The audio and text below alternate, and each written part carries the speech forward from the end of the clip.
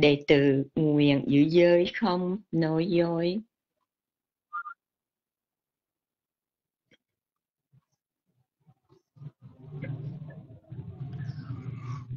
Sura Merayamachapama Datha Na về Ramani Sikha Badang đi nhà Mi đệ tử nguyện giữ giới không? Uống rượu và các chất sai.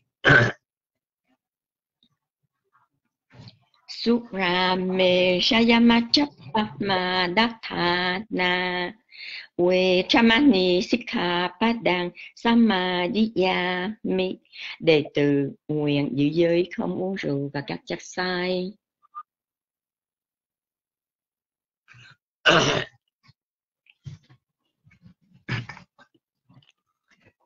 Vika Lafu Jana về Ramani Sikha Badang Samadhiyami đệ tử nữ giới không ăn phi thời. Vikalafuchana Veramani Sikha Padang Samadhiyami Đệ tử nguyện giữ giới không ăn phi thời.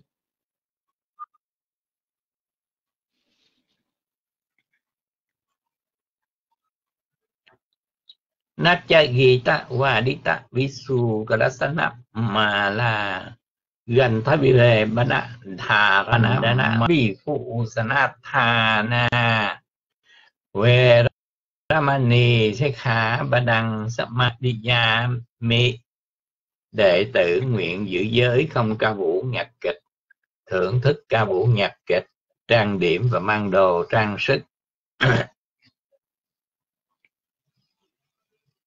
Nakchagita Wadita Visu Kadasana Malagan Tawile Panatha Janaman Danawifu sanatana We Chamani Sikha Padang Samadhiyami Đệ tử nguyện giữ giới không cao vũ nhạc thịt. Kịch thưởng thức ca vũ nhạc kịch trang điểm và mang đồ trang sức.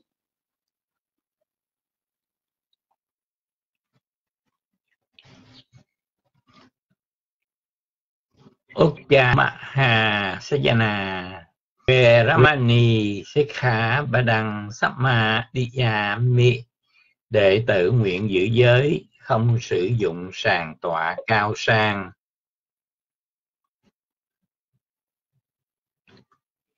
Ucha Sayana Maha Sayana Chamani Sikha Padang samadhiya Mi Đệ tử nguyện giữ giới không sử dụng sàn tọa cao sang.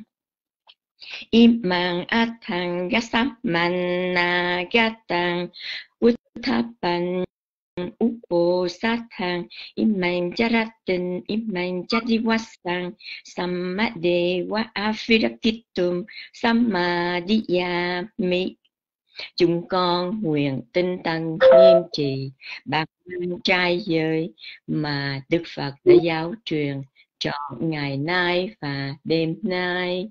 Nguyện vun bồi căn lành giải thoát ngài trong lai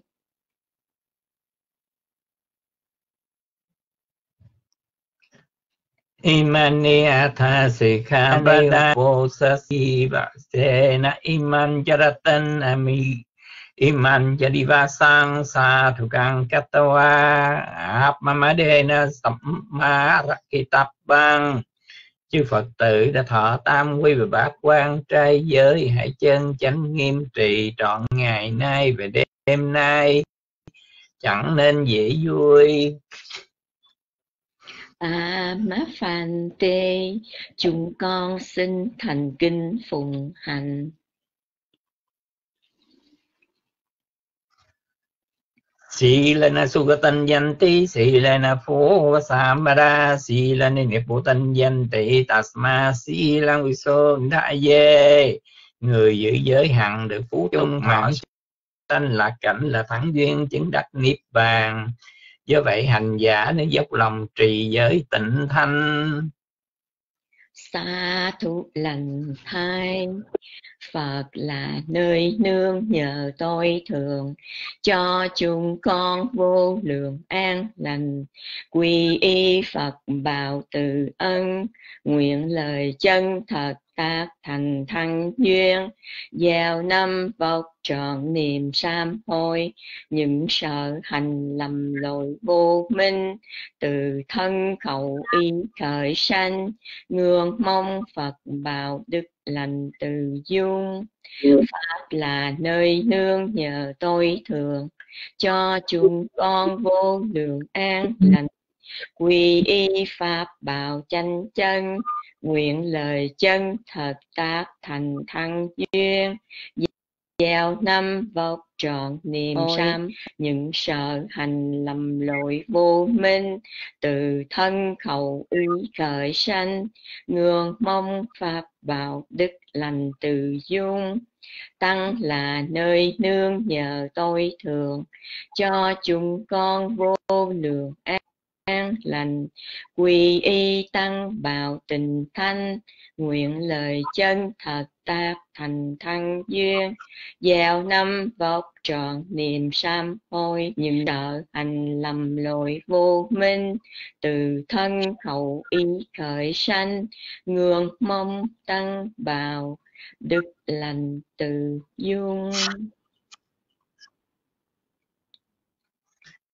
ภะวะตุสัพพมังกลังรักขันตุสัพเพเดวตัสสัพพบูตาภาเวนัสดาสติปวันตุเตบอกว่าตัวสัพพมังกลังรักขันตุสัพเพเดวตัสสัพพธรรมานุภาเวนัสดาสติปวันตุเตบอกว่าตัวสัพพมังกลังรักขันตุสัพเพเดวตัสสัพพสังฆานุภาเวนัสดาสติปวันตุเต từ ngã phương có đến người, cầu xin chư thiên hộ trì đến người. Do nhà quay đức của chư Phật, do nhà quay đức của giáo pháp, do nhà quay đức của chư tăng ca sự thanh lợi thường thường đến người. Cầu xin cho quả của tâm tinh thành tâm bảo, cho được thành tựu mỹ mãn, cho được thành tựu mỹ mãn, cho được thành tựu mỹ mãn sa thu sa thu lành thai lành thai nam mô bút tha giá. Chúng con thành kính đảnh lễ và thành kính tri ân thượng tọa minh hạnh đã từ bi thay mặt chư tăng, trao truyền bát quan trai giới cho hàng phật tử chúng con. Con thành kính đảnh lễ ngài trời siêu, thượng tọa giác đẳng cùng chư tôn đức và kính mời mc tiếp tục với chương trình hôm nay. Nam mô bút tha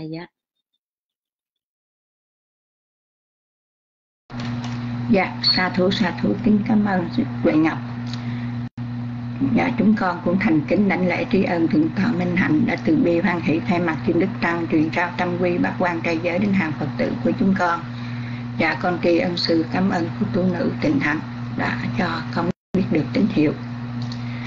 Năm Mô Bích Tha Giá, hôm nay thứ sáu ngày 2 tháng 7 năm 2021, Phật lịch 2565, giáo trường, giáo trình tương ưng bộ Samyutta Nikaya bài chính kinh gái của Bách Chú.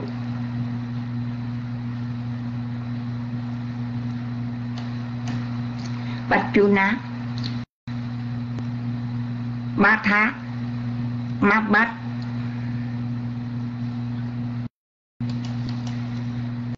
Ma Ma Bát Chun Na Thì Tu Suốt Tăng Suốt Tăng thái độ đối với thánh pháp, chương một, tương ưng, chư thiên phẩm quần tiên. Do hòa thượng minh châu dịch việt và thượng tọa giác đẳng biên soạn. Chúng con thành kính đảnh lễ cung thỉnh ngài tỳ siêu từ bi dẫn nhập bài học ngày hôm nay. Năm mô bích tha giá. Và con kính dân mít đến ngài.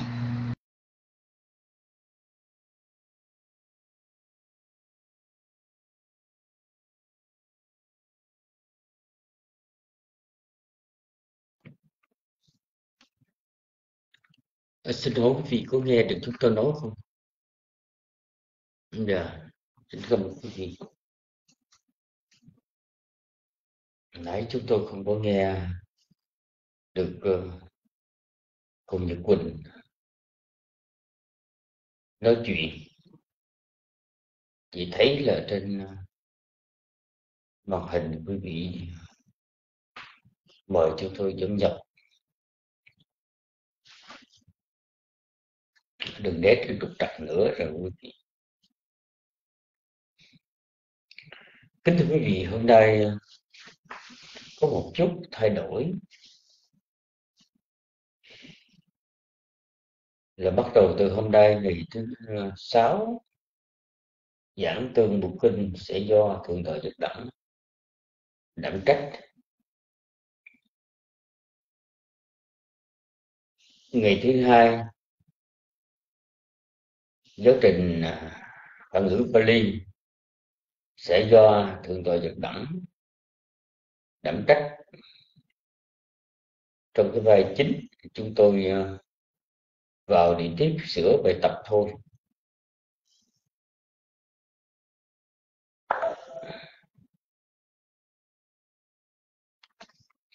Còn cái ngày à, thứ năm và cái ngày chủ nhật đó, thì à, thượng tọa giác đẳng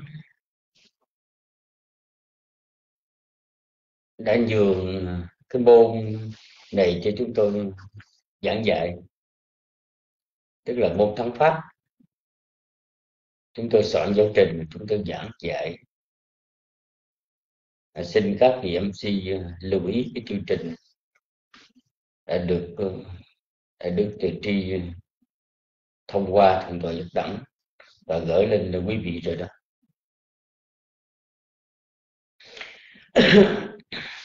Hôm nay à, chúng ta học cái bài kinh nát thì tốt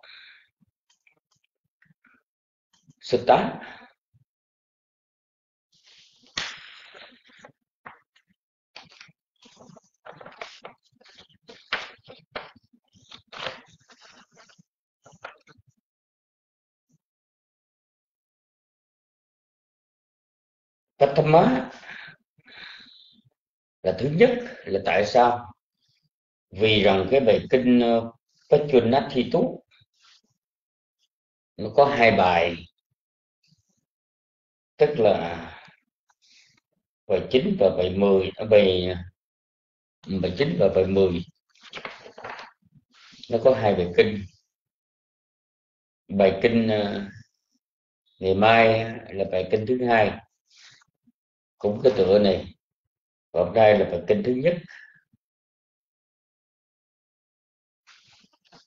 Và nếu mà quý vị có đọc ờ, cái tựa Bali thì quý vị chú ý.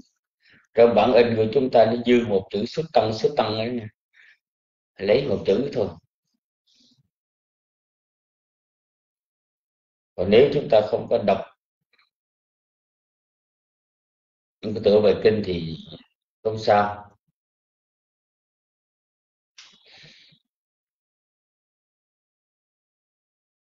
Dạ yeah, cô nhật uh, gạch bỏ dùng một chữ. Một chữ sau. Chữ sau đặng chi chữ trước nó dính liền với chữ thi tú mình dễ đọc.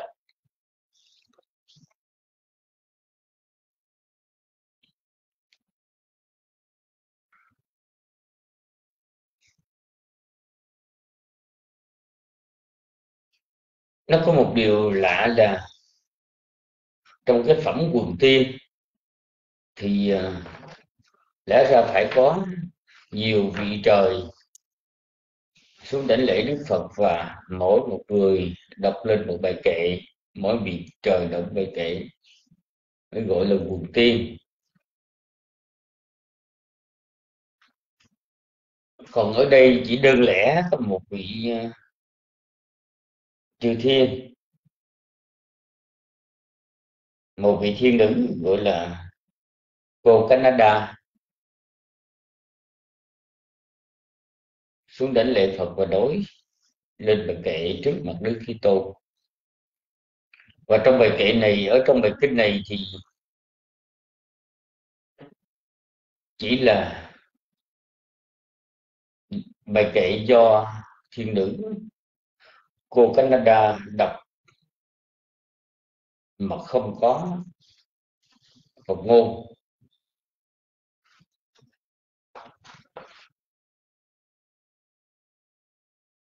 Và ở trong bài kinh này ý nghĩa cũng rất quan trọng. Như ta biết một vị à, thiên nữ dù cho ở cõi chúng thiên vương thì cái tuổi thọ của vị đó một đời của vị trời ở cõi thiếu thiên cũng bằng 9 triệu năm ở dưới con người mình lại thêm cái phước báo cũng có đầy đủ. Thiên lạc. Nhưng mà các vị trời thường hay xuống để ý kiến đức phật và để được nghe pháp, hay là để hỏi ngài những cái câu pháp, vân vân thì ở đây chúng ta cũng thấy rằng là dầu cho các vị trời. Như vậy nhưng mà những vị đó có cái sự ý thức là muốn tạo thêm cái phước báo, cho nên muốn đi đến định tính pháp. Cho nên chúng ta không lấy làm lạ là tại sao các vị trời thường hay xuống đảnh lễ đức phật và còn pháp? Và trong ý nghĩa của bài kinh này thì à, hôm nay có những cái vấn đề giới thiệu cho chúng ta biết về cái địa ngục.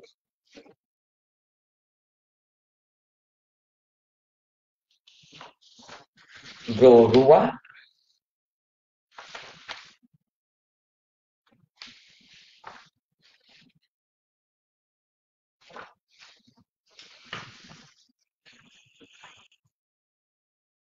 ở trong địa ngục này thì chút xíu nữa chúng ta sẽ nghe thượng tượng cho tổng trình bày rõ hơn. Và ở trong kinh nói đến cái địa ngục trôi quá là địa ngục của những người họ phỉ bán chánh pháp sẻn và tà dâm. Thì đó là cái nội dung mà chúng ta cần được nghe. Bây giờ thì ờ, xin mời ờ, cô Nhật Quỳnh đọc cho chánh văn của bài. Sau đó, xin thỉnh thượng tọa giáo đẳng thuyết giảng về kinh này, nam mô bổn thầy.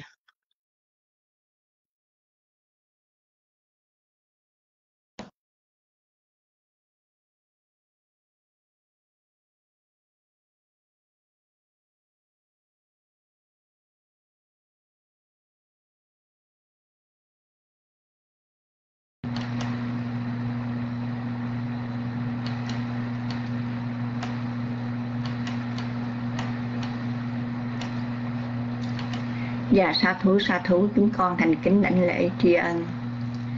Ngài Tỳ Siêu đã từ bi dẫn nhập bài học ngày hôm nay. Dạ cảm ơn Hoa Nguyệt cho Nhật Bình biết được tín hiệu. Con xin phép được đọc phần chánh văn. Thái độ đối với Thánh Pháp. Kinh con gái của Bách Chun Ná. Ba Tha Mát.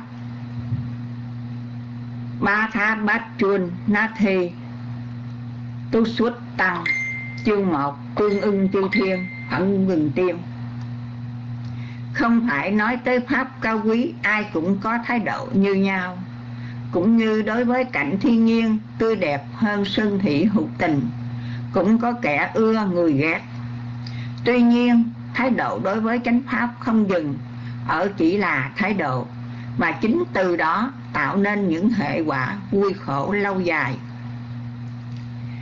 Điều lạ bài kinh này cũng như bài tiếp theo là chỉ có một thiên nhân chứ không phải nhiều vị trời bày tỏ lại được xếp vào phẩm quần tiên.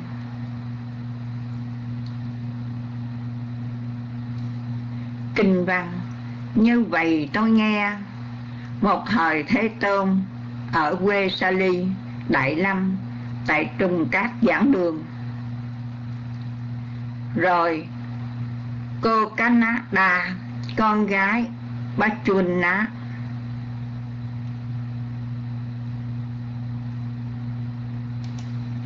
Còn lúc nãy con thấy sư có một chỗ. Con gái chuồn ná. Bác Chuôn Ná là thần mưa làm việc dưới trướng của tứ đại vương.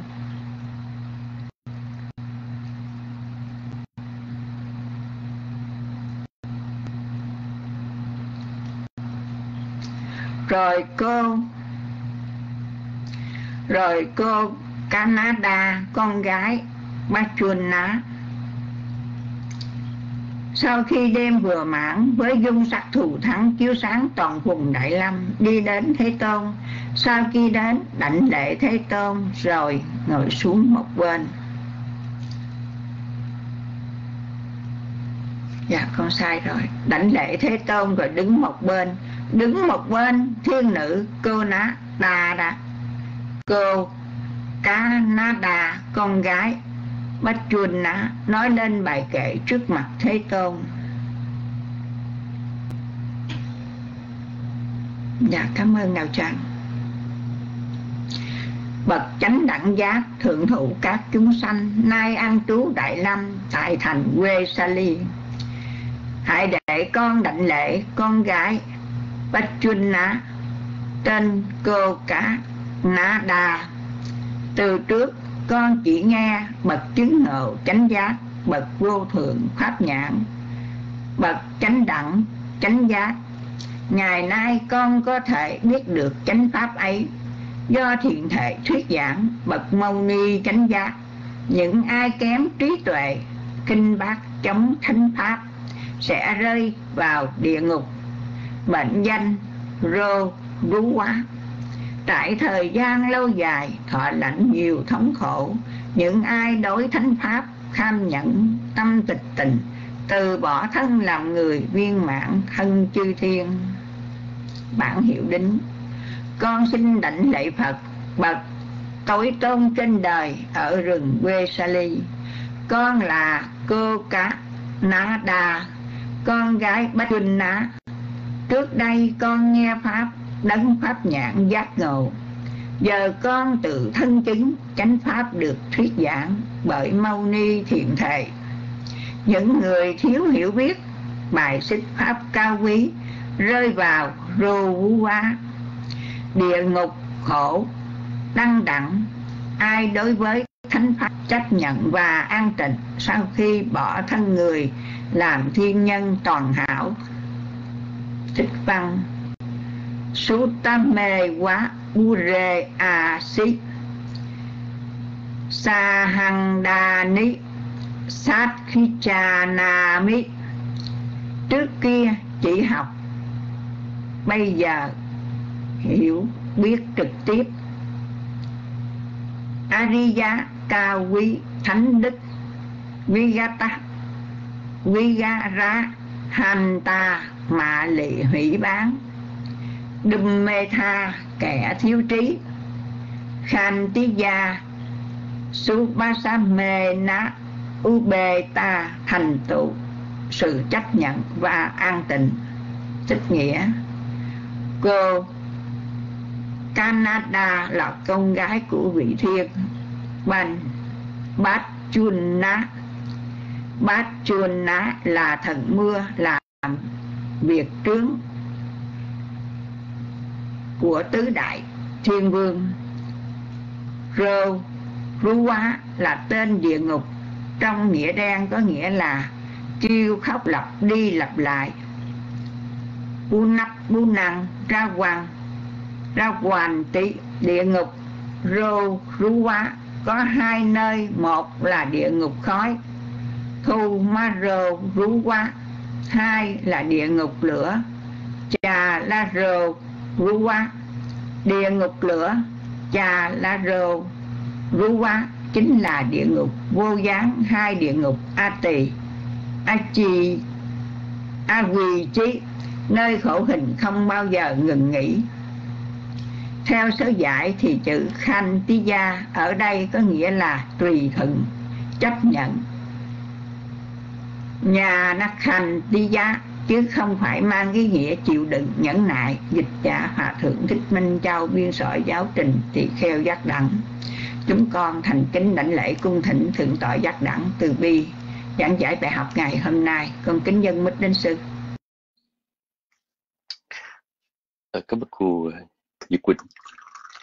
À, Nam mô Bích Thầy giáo À, ờ, kính đảnh lễ thiên thầy sư, đảnh lễ chư tổ chức. Thân chào tất cả quý Phật tử. À, thưa quý vị, uh, uh, như thượng tọa thiền sư vừa nói là đang có uh, sự ờ, tái phối trí uh, sắp đặt lại trong cái uh, uh, giáo trình và các vị giảng sư. Thì uh, uh, trước nhất là chúng tôi uh, tạm thời giảng uh, kinh tương ưng nhưng mà vì uh, uh, giáo trình trung bộ chỉ còn có một vài bài nữa là hết. Ờ, và cuối tháng khoảng 3 tuần nữa thì ờ, thì tổ pháp đăng sẽ không còn giảng trong giáo trình trung bộ. Thì chúng tôi sẽ hội ý với chư tăng rất có thể là ờ, thì tổ pháp đăng sẽ uh, giảng tương ứng giảng tương ứng bộ và giảng giáo trình tương ứng bộ. Và lúc đó thì chúng tôi có thể giảng lại giáo trình trình tương bộ song song với uh, tương ứng bộ. Yeah. Và còn hai lớp khác đó là lớp uh, uh, thắng pháp và lớp phản ngữ. Thì uh, lớp thắng pháp á, là có hai ngày ngày thứ năm và chủ nhật sẽ do thượng tọa từ siêu giảng và cũng chính thượng tọa biên soạn giáo trình. Còn lớp phản ngữ á, thì uh, chúng tôi sẽ uh, khởi giảng vào ngày thứ hai tới đây và với một giáo trình mới. Thì thưa quý vị đó là vài cái thay đổi mà chúng tôi hy vọng rằng những cái cải thiện ở trong uh, room sẽ giúp cho mọi việc nó sẽ suôn sẻ và quý vị phật tử được nhiều cái lợi lạc hơn. Bây giờ thì uh, chúng ta uh, trở lại với bài kinh ngày hôm nay. Uh, ở trong bài kinh này thưa quý vị uh, một uh, tiên nữ uh, đến với đức thế tôn để gặp đức thế tôn và trình bày về cái uh, cảm nhận của mình khi mà được nghe pháp của Phật. Và cũng bên cạnh đó thì vị tiên nữ đó cũng nói lên cái nhận thức của mình rằng ờ, có những người với cái thái độ thiếu hiểu biết đã uh, hủy bắn chánh pháp và do vậy họ sanh vào trong uh, địa ngục. Dạ họ sanh vào địa ngục có nặng có nhẹ chuyện đó lát nữa chúng ta nói sau ở trong bài kể này ở trong bài kinh này thì chỉ đơn thuần là lời trình bày của một vị thiên mà chúng ta không có uh, bất cứ lời nào của Đức Phật và cũng không nói đến cái thái độ của Đức Phật nhưng mà được uh, ghi nhận lại như vậy. Uh, trước hết thì uh, chúng ta nên uh, uh,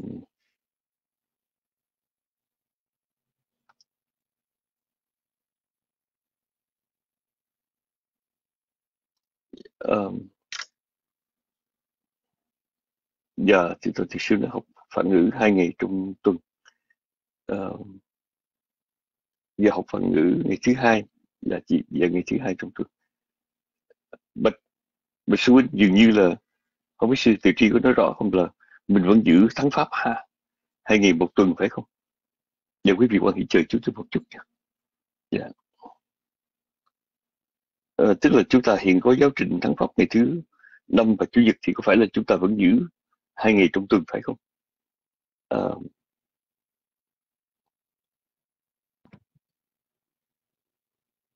dạ dạ thỉnh sư huynh.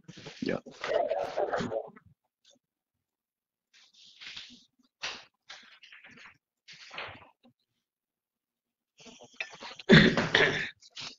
Để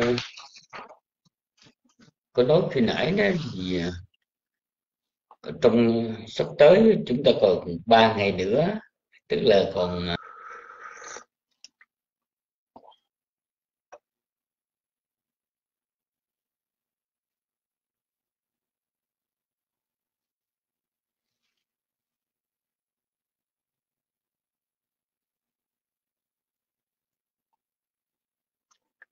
dường như Thưa tôi thực sự đang ờ, gặp một chút gián đoạn được truyền quý vị quan hệ chờ chút nhé.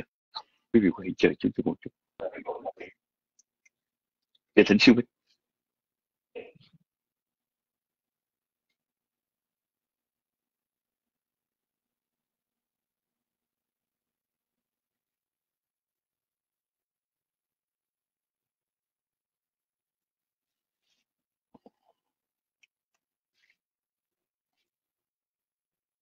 Chào quý phật tử uh, qua khi chờ đợi trong giây lát.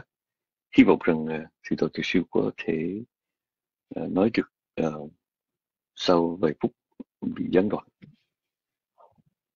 Dạ tính sư huynh.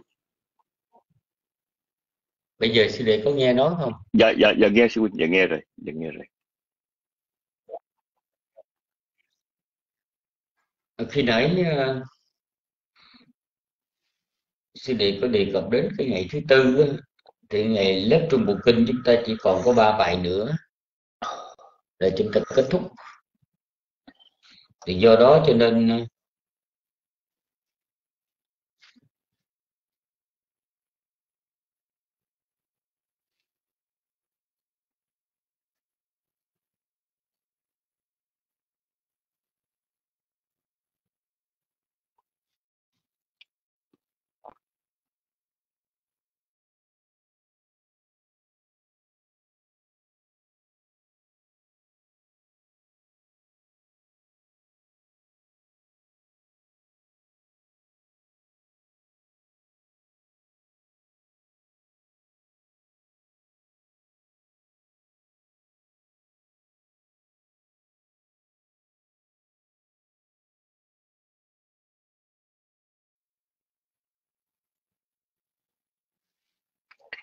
à, xin lỗi quý vị là đường truyền của thượng tọa từ siêu hơi uh, trục trặc một chút.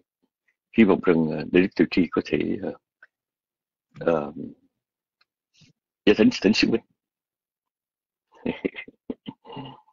thôi đó có nhiều khi mình vào room thì không sao mình cầm mic thì nó lại gián đoạn từ quý vị.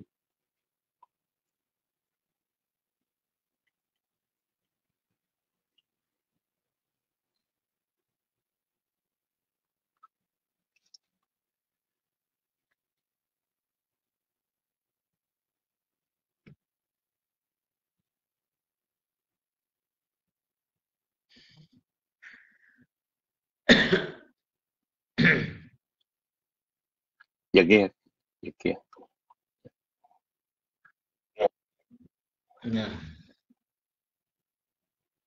Chúng ta chuẩn bị cho dần, à, học phản ứng dần dần. Bài học sẽ khó hơn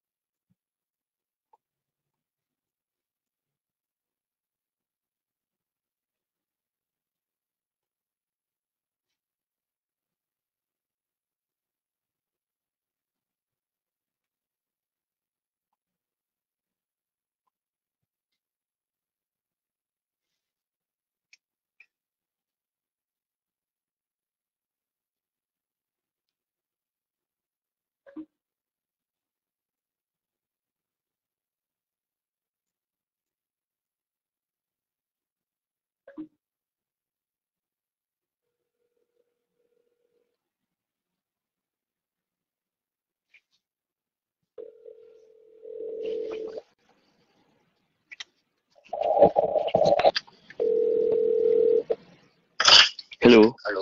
dạ bây giờ sư huynh nói thì sư đệ sẽ truyền qua phá thoát lại sư huynh À, bây giờ như thế này để Dạ.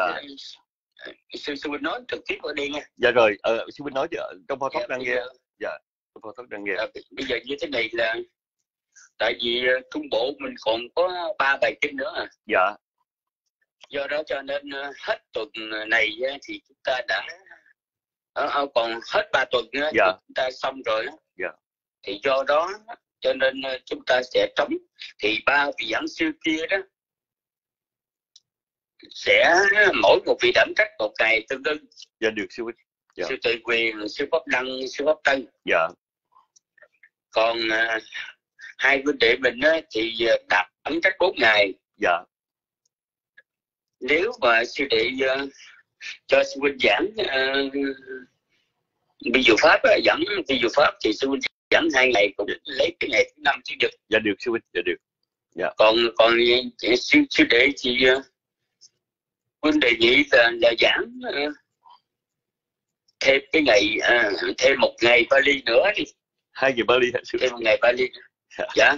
Bởi vì Dạ. Bali lần lần ờ, dần dần ờ, mình sẽ có nhiều có nhiều bài tập và bài tập nó sẽ dài hơn. Dạ được dạ được dạ dạ. Dạ. Dạ được dạ, À, dạ xin được đó. thử thử Dạ, dạ. giảng tuần hai ngày Bali huynh.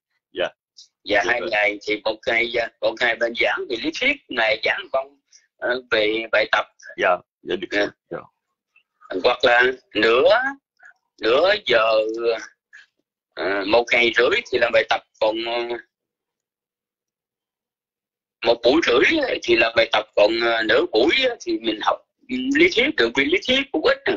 dạ dạ dạ được sư huynh. Dạ, dạ, dạ rồi. dạ, dạ rồi rồi dạ rồi bên, dạ dạ rồi sư huynh. rồi rồi Dạ, chào dạ. sư đẹp nha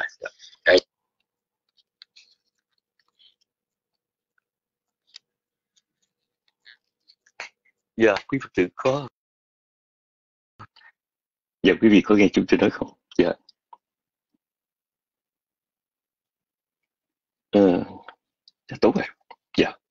Tại vì, ờ, thưa vị, ờ, chúng tôi nghĩ rằng điểm truyền thượng tọa nói chuyện phao thoát thì nó hơi ờ, nó hơi có vấn đề, thành ra chúng tôi phải truyền trực tiếp.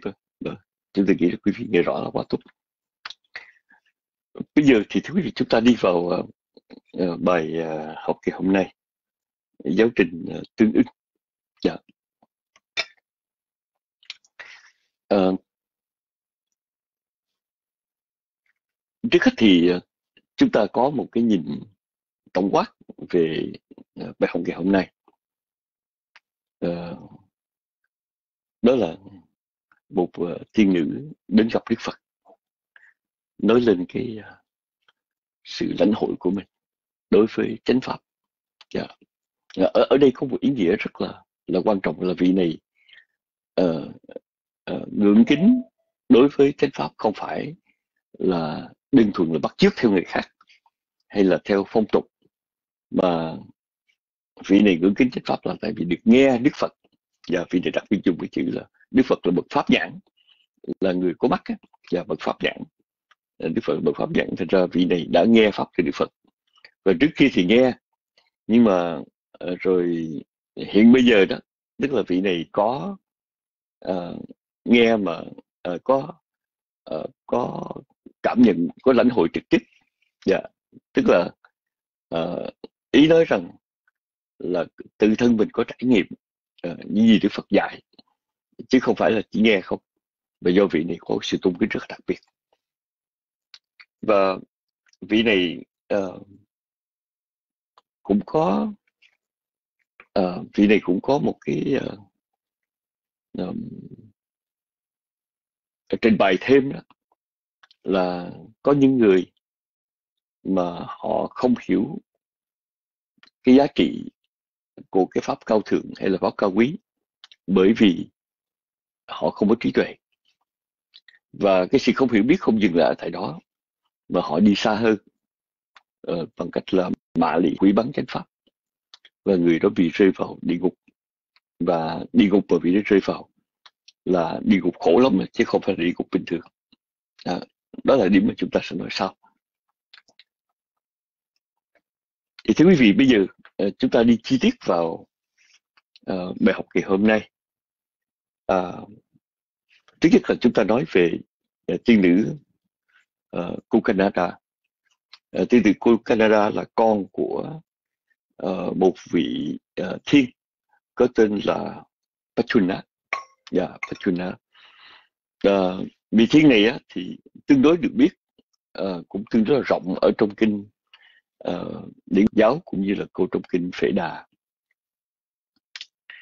Thì uh,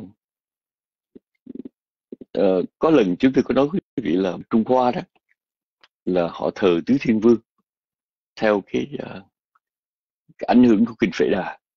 Là tứ thiên vương có bốn vị là lôi phong điển vũ yeah, lôi phong điển vũ tức là uh, thần uh, sấm thần gió thần, Ờ, thần mưa dạ thần sấm sét mưa gió dạ thì uh, là bốn vị.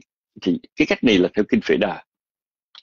Thì thật ra trong kinh điển Pali đó thì nói rằng uh, những cái vị thần như là thần mưa thần gió vân vân thì những vị này đó uh, không phải là uh, tứ thiên vương mà vị này những vị này là là việc dưới trướng. Yeah, dạ, ở trong bài học chúng tôi đánh tiếp thì dưới thì ờ, gọi là làm việc dưới trướng tức là làm việc dưới quyền uh, xem xét của tứ thiên vương. Thì chúng ta phải hiểu được rằng uh, cái sự vận hành của thế giới này đó nó là một sự lẫn lộn giữa cái tự nhiên và những cái uh, vai trò sự. Uh, chúng tôi lấy ví dụ như bây giờ là uh, ở trong cái uh, ở trong cái nội các của chính phủ Hoa Kỳ có vị bộ trưởng về nông nghiệp uh, Secretary of Agriculture và vị bộ trưởng về nông nghiệp. Nhưng mà điều này không có nghĩa là tất cả những công việc về uh, canh tác ở trong xứ đều là do vị bộ trưởng làm hết không phải. Hiểu như vậy là sai. Ờ, uh, từ này á, làm ở trong cái chân mực nào đó thí dụ như là cái việc mà sản xuất nông phẩm và thị trường lên xuống là hoàn toàn là do người nông dân quyết định người nông dân là chính. Nhưng mà cái vị mà bộ trưởng nông nghiệp đó làm sao mà có thể là uh, theo dõi để giúp cho cái ngành nông nghiệp của Hoa Kỳ tránh được những cái bẫy sụp giống như ở tại Việt Nam chúng ta bị Trung Quốc họ thao túng chẳng hạn? Hay là làm thế nào mà điều hòa cái giá cả? Ví dụ đừng để cho do cái sự cạnh tranh uh, tàn khốc mà uh, giá bắp quá cao hay giá bắp quá thấp uh, hay là lúa mì quá cao lúa mì quá thấp thì, thì trò mà uh, hỗ trợ uh, điều phối là vai trò bộ trưởng nông nghiệp. Nhưng mà không nên hiểu là bộ trưởng nông nghiệp làm tất cả. À, cái này là cái chúng ta cần hiểu. Thì những hiện tượng thiên nhiên như là mưa gió đó thì thật ra nó là thiên nhiên nên hiểu như vậy. Nhưng mà ngoài ra đó thì mưa là có năm cái ờ, năm uh, nguyên nhân của mưa ở trong đó kể cả uh, cái tính cách tự nhiên. Thí dụ như trên hành tinh của chúng ta uh, có cái lượng oxy có bột khí quyển uh, và có cái hơi nước thì hơi nước bốc lên thì tự nhiên nó phải có mưa. Nhưng mà thưa quý vị mưa thì lúc vậy lúc khác. Mưa thì lúc thuận uh, lúc mưa thuận gió hòa lúc mưa không thuận gió không hòa. Lúc thì lợi lạc cho dân chúng lại không lợi lạc cho dân chúng thì bên cạnh đó thì mưa gió vân vân thì còn có một cái sự can dự của một vị thiên. Ờ, vị thiên đó là ờ, là người là vị thần mưa. Ờ, thần mưa mà làm việc ở dưới trướng của tứ thiên vương. Thành ra uh, Machunda là một thần mưa. Ở cái hiểu nghĩa tương đối như chúng tôi nói là vị bộ trưởng nông nghiệp đối với cái nông nghiệp của một quốc gia chứ không hẳn là vì đã làm tất cả mọi thứ. Chúng ta nên hiểu như vậy. À, chúng ta không có nhiều cái chi tiết về vị tiên nữ ờ, Kakunada này ở trong sớ giải ờ, mà chúng ta biết duy nhất ở uh, trong hai bài kinh. Đó là vị đó là con gái của Bachuna. Và rõ ràng đây là một người sùng tính luật pháp nhưng mà vị tiên nữ này sùng tính không có đơn thuần mà lại lại là một người nghe pháp hiểu pháp. Ở đây thì uh, chúng tôi phải uh, uh, mở ngoặt đừng nói thêm với quý vị rằng uh, những cái vị mà uh, chư thiên phạm thiên ở cõi trời càng cao á thì cái tâm ý tương đối đơn giản hơn và càng thấp hơn thì tâm ý rắc rối hơn. Và những vị càng thấp á, do cái tâm ý tương đối phức tạp hơn. Nên khi trong cái việc mà nghe kinh học pháp á, nó lại nhiều hơn là những vị ở trên trời cao. À, những vị ở cao khi nghe đức phật ngài khai thị một câu thì đã đủ. Nhưng mà riêng đối với các vị gọi là à, những cái vị uh, chư thiên ở trên địa cầu hay là chư thiên ở trên các cõi trời à, chư thiên cõi trời ở địa cầu cũng như là chư thiên người chung quanh ngôi các ngôi chùa hay là các ngôi nhà quý vị hay là ở trong rừng các vị thọ thân. Vân vân có nhiều chư thiên đó thì những vị chư thiên ở càng gần với thấy con người thì tâm ý càng phức tạp hơn. Và khi mà nghe pháp đó thì ờ, các vị phải nghe với một cái lượng lớn hơn và suy tư ờ, tương đối là phải sâu sắc hơn. Thì uh, tiên nữ uh, cô Canada có bạch với Đức Phật là trước kia con cảm nhận chánh pháp chỉ là nghe thôi. Nhưng mà sau này đó thì ờ, con có một cái uh, thể nghiệm trực tiếp ở đây gọi là thân chứng. Dạ yeah, tức là ờ, chính mình đó à, chính mình thể nghiệm uh, do đó con có một cái lòng ngưỡng kính sâu sắc đối với chánh pháp. Thì điều này nó tương tự như là quý phật tử chưa bao giờ uh, quân tu chánh niệm hơi thở quý vị nghe một vị uh, pháp sư hay vị thiền sư giảng á, lần đầu tiên quý vị nghe chỉ là nghe thôi. Nhưng mà khi một khi quý vị đã hành thiền rồi mà khi được nghe về giảng hơi thở quý vị sẽ cảm kích hơn uh, đặc biệt cảm kích hơn. Hay là uh, nếu một người mới đến và chưa có tạo phước chưa có tinh lý nhân quả mà nghe giảng về nghiệp á, thì cũng tương đối là phát tâm. Nhưng mà nếu mà chính mình đã làm rồi thì khi mà mình nghe một vị nào nói về điều, điều đó thì mình cảm nhận một cách rất là sâu sắc. Ờ, cũng như uh, có một lần chúng tôi uh, nghe một phật tử họ đi nghe pháp với một vị sư. Uh, vị sư thì cũng là một vị sư rất là bình thường không phải là một pháp sư rất nổi tiếng. Nhưng mà vị này về nói với chúng tôi rằng hôm nay con đi đến chùa đó con nghe pháp tự nhiên trong lòng nó khoan hỷ lắm.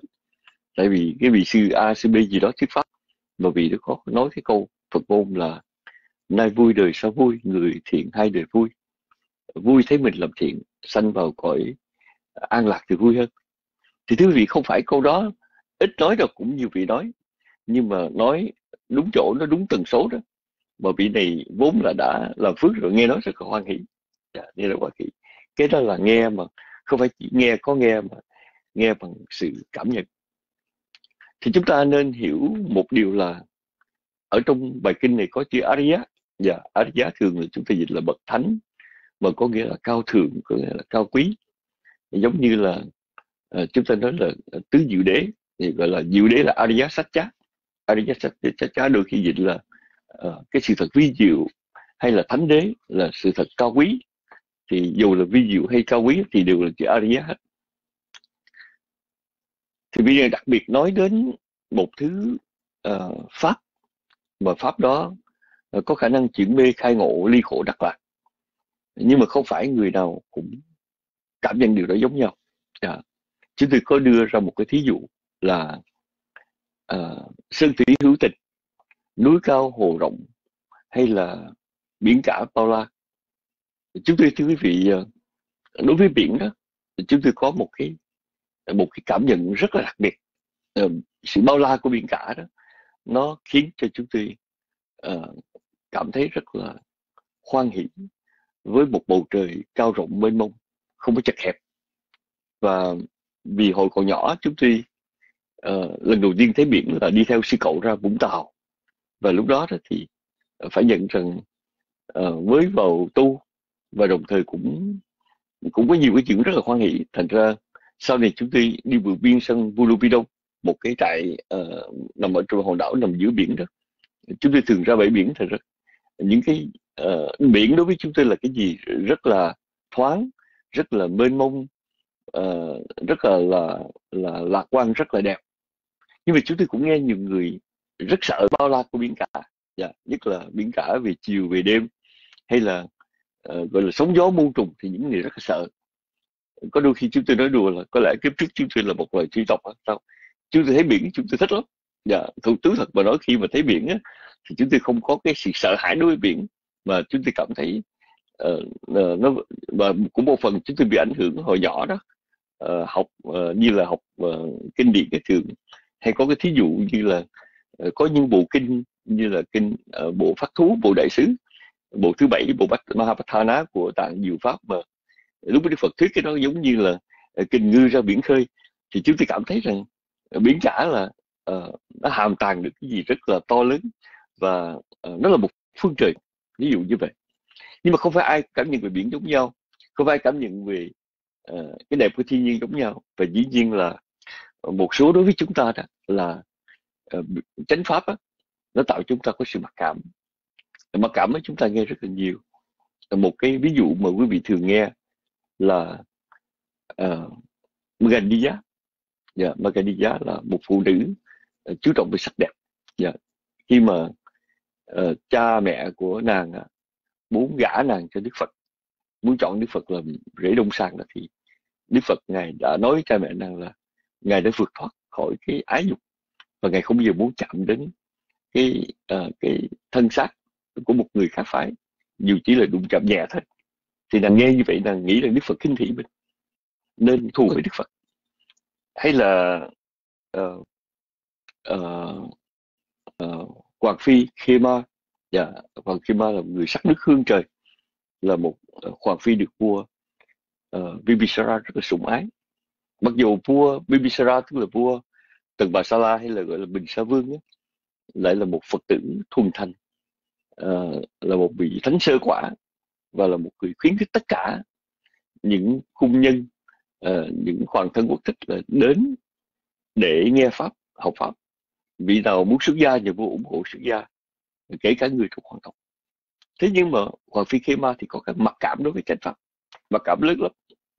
Mặc cảm lớn đến nỗi mà bởi vì có một lần thôi hoàng phi thấy những người cung nữ ờ, thị tỳ ở trong uh, hoàng cung đến nghe đức phật thuyết pháp.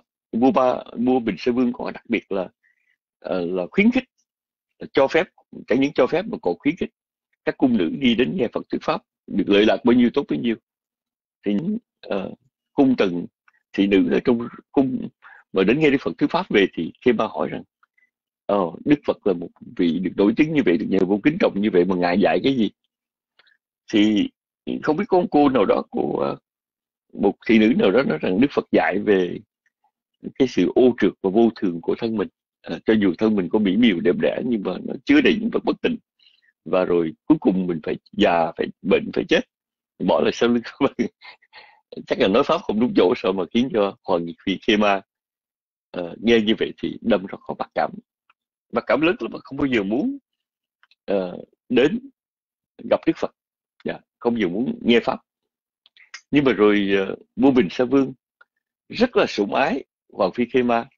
Nhưng mà trong sự sủng ái thế thì nhà vua vẫn có một cái uh, một cái nhìn là những người nào mình thương thì người đó cần nếm cái hương vị của chánh pháp. Ờ, cần được uh, uh, được cảm hóa bởi cái uh, uh, sự cao cả của Đức Phật. Nên nhà vua đã dùng cái cách mà chúng ta nghe thường các vị pháp sư hay nhắc đó là nhà vua cho những thi sĩ uh, sáng tác những vần thơ rất đẹp về ngôi chùa Trúc Lâm. Ngôi chùa Trúc Lâm trước kia đó là một một người thượng quyển của nhà vua trồng những hàng tre rất là đẹp và bây giờ thì vẫn còn cái di tích thứ kia. Thì từ những bài thơ các thi sĩ được phổ nhạc rồi từ những bản nhạc rồi được trở thành những cái bài ca đồng giao tức là được ca hát được truyền tụng trong dân gian. Và những người trẻ bây giờ họ thích họ nói họ thường hát những bài ca ngợi cảnh uh, trí của trúc lâm tịnh xá. Thì uh, thỉnh thoảng hoàng phê ma đi vào trong thành uh, được nghe những cái khúc hát do các trẻ em trên đường hay là đâu đó văng vẳng tiếng hát ca ngợi chùa Trúc Long thì cũng tò mò. Và rồi uh, uh, Hoàng Phi trong một lần đã uh, tự mình đi đi một cách thầm lặng không cho ai biết đến để thưởng ngoạn cái vẻ đẹp của Trúc Viên Trúc Long Tịnh sáng và dĩ nhiên là bởi vì có mặc cảm với Đức Phật có mặc cảm với Pháp do đoàn phi khema chỉ uh, uh, có cái lập tâm đến là chỉ uh, thưởng ngoạn cảnh trí và không có vào gặp Đức Phật không nghe pháp. Bởi vì nghe người ta nói rằng thấy vị trên Đức Phật này có một cái bùa mê rất là đặc biệt. Có những người chống đối ngài mà rốt cuộc quy với ngài. Thì khi uh, Hoàng Phi Khê đến thì quả thật thấy rằng uh, vườn thượng quyển này, uh, ngôi chùa này trước kia là thượng quyển thì quá đẹp rồi cảnh trí rất là uh, u tịch rất là hữu tình.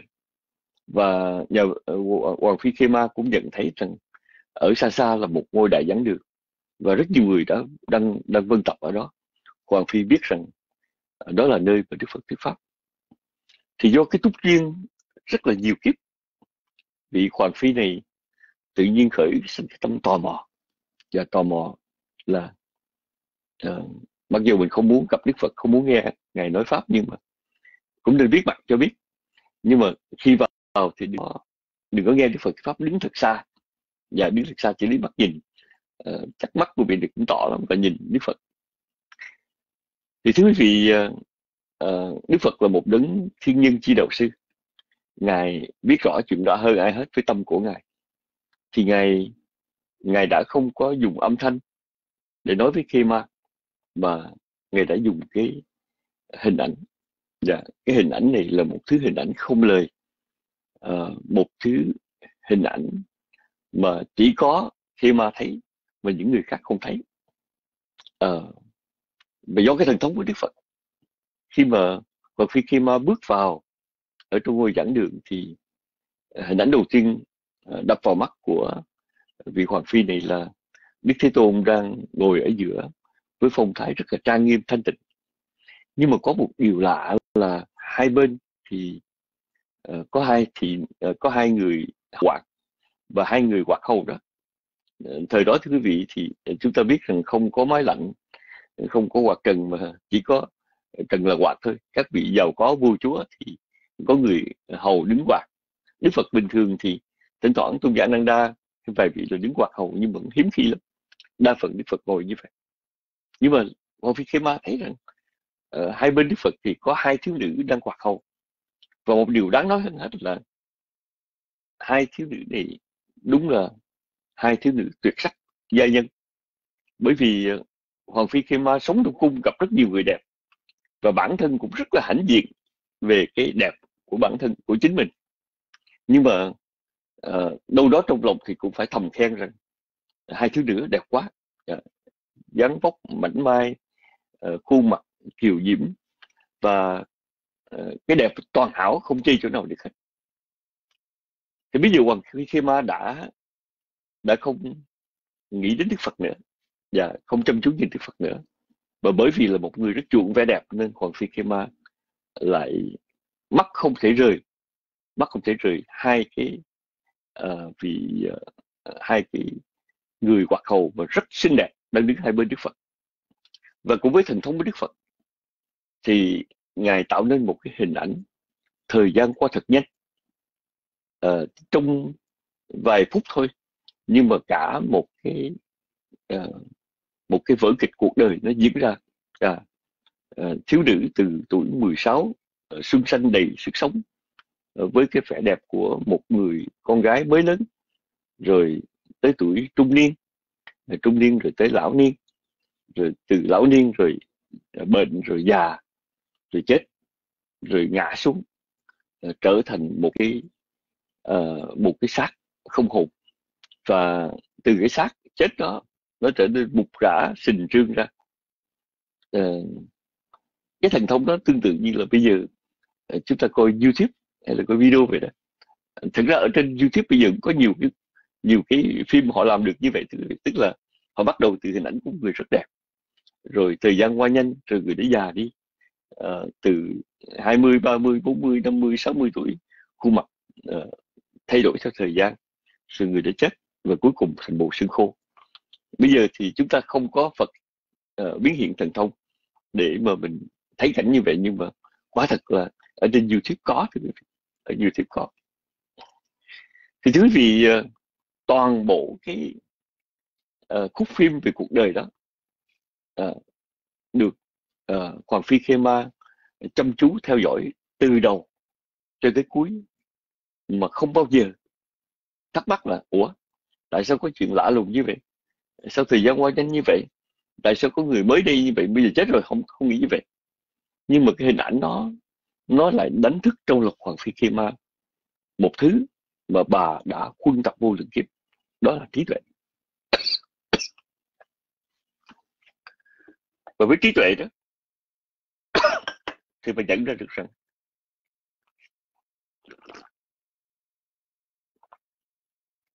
đó không phải là câu chuyện hư cấu hay là thật. Hình ảnh đó không phải là chuyện tại sao nó xảy ra như vậy. Hình ảnh đó không cần phải hỏi là ai làm ra mà đơn giản là bà bằng cái trí tuệ mà đã được quân tập từ vô lực kiếp. Đến lúc 90 rồi và nhận ra một điều rằng hình ảnh đó là cái thân phận của tất cả chúng sinh ở trong đó có bản thân của mình. Rồi mình cũng sẽ già đi rồi mình sẽ chết. Và cái hình hài chiều diễm hình hài mà mình đang nâng niu hình hài mình được ưa chuộng này rồi nó cũng uh, biến dịch theo thời gian. Không ai mà tránh được chuyện đó và trong một cái thoáng chốc uh, bằng một cái hình ảnh mà được biến hiện từ thần thông của Đức Phật và được lãnh hội trực tiếp bởi một con người, một chúng sanh mà có rất nhiều túc duyên tu tập. Mặc dù trong kiếp hiện tại thì nhất thời có mặc cảm với Đức Phật, mặc cảm với chánh Pháp. Nhưng mà rồi Hoàng Khi Khê Ma đã vượt qua tất cả những cảm đó để thấy được cái bản chất vô thường, bản chất rỗng không uh, của uh, kiếp nhân sinh và cuối cùng thì bà là một quyết định mà khó ngờ được.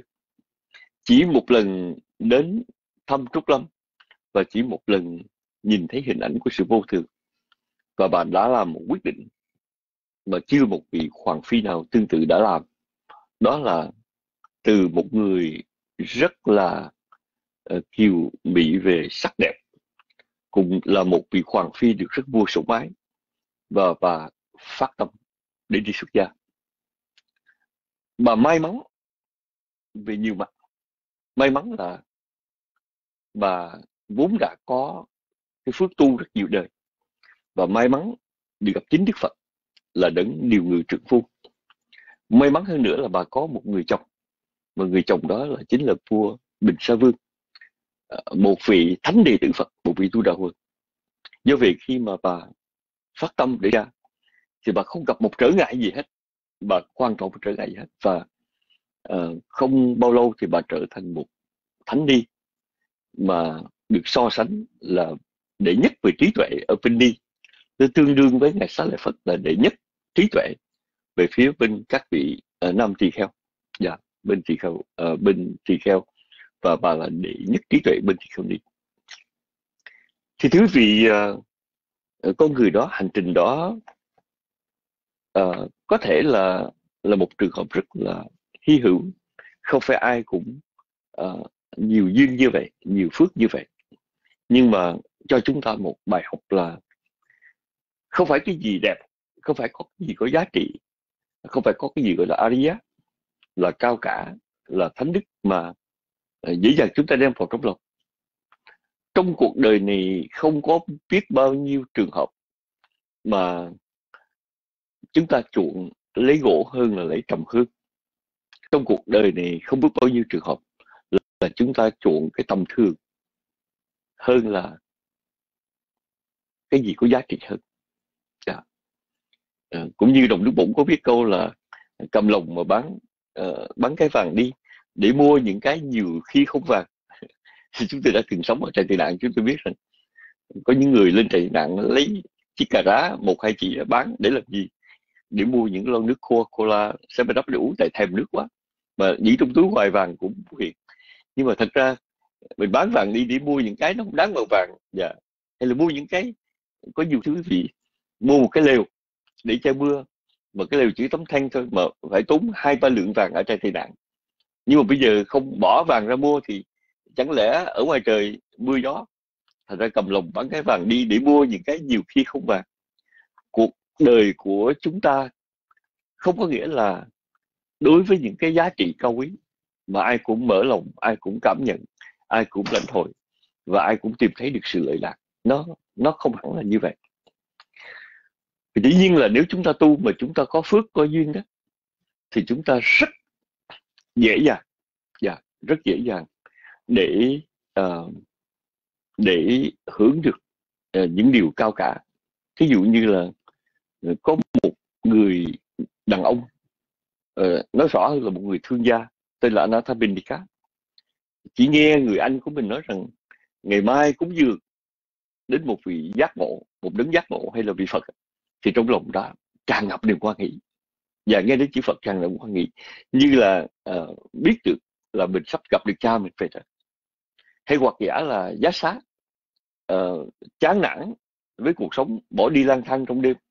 Mà uh, vừa đi vừa chắc lưỡi thế gian thật là bẩn vậy mà chỉ nghe một người kêu tên mình giá sát con hãy đến đây ta sẽ giảng pháp cho con. Thì tự nhiên uh, cái tâm phát tâm uh, phát tâm để nghe pháp phát tâm để tu tập và chứng thánh quả lập tức. Thì thưa quý vị cái số đó thì số gọi là hữu phúc hữu duyên. Cũng có những người rất là chặt vật chật vật lắm. Chật vật đó là trong kiếp chót đắc đạo chứng quả rồi, gặp được chánh pháp rồi mà gặp các vị thánh đệ tử khai thị rồi. Nhưng mà rồi năm lần bảy lượt muốn hoàn tục. Hoàn tục để gì? Để trở về sống với cái một chiếc cô bể, để sống với đời, để đời sống an sinh. Chúng ta là một vị vào kiếp chót đó. Để cuối cùng lần thứ bảy mới đủ can đảm quăng đi cái tu bể đó. Và mà dốc lòng tu tập đời sống pháp hạnh cuối cùng chứng đạo quả mà cái chuyện nó xảy ra ngay thời đức thế tôn còn tại và ở dưới chân của tôn giả xá lợi phật còn có những người rất tệ nữa thưa quý vị. Số nắc khách tá. À, vào xuất gia bản thân là một người lý quy vào xuất gia. Và xuất gia thì mong được chứng ngộ các pháp thần thông mà quả thực vị này chứng được thiền và chứng được thiên nhãn thông. Nhưng mà vị này uh, nhìn thế giới này giống như một đoạn phim câm vậy đó bởi vì vị này không có thành tựu được thiên nhĩ và nhìn chư thiên ở xa như phim câm vậy đó. Quý vị nào mà lâu lâu mà uh, mà bây giờ thì hết rồi ngày xưa chúng tôi nhớ rằng uh, có nhiều khi mình mở những youtube mở cái video uh, cái media player thì tự nhiên nó có hình ảnh mà không có âm thanh giống như phim câm vậy. Thì do vì vị này tức tối lắm nhưng mà vị này không hiểu được là sở dĩ mình không luyện thành thiên nhị là bởi vì do một cái ác nghiệp quá khứ xa xưa đã từng uh, làm điếc tai một vị Phật độc giác. Do vì cái này không không có thành tựu thiên nhị thông. Mà cũng chỉ vì không thành tựu thiên nhị thông này và cũng vì đặt cái mục đích phạm hạnh sai chỗ mà vị này trở nên uh, trở nên căm ghét Đức Phật. Và nói xấu Đức Phật. Bây giờ cái chuyện mà nói xấu nói xấu Đức Phật đó thì có nhiều khi nói sống mà quá là tán thán. Ví dụ như là nói rằng à, cái pháp mà Đức Phật dạy là do Đức Phật tự mình ờ, nhận biết thôi.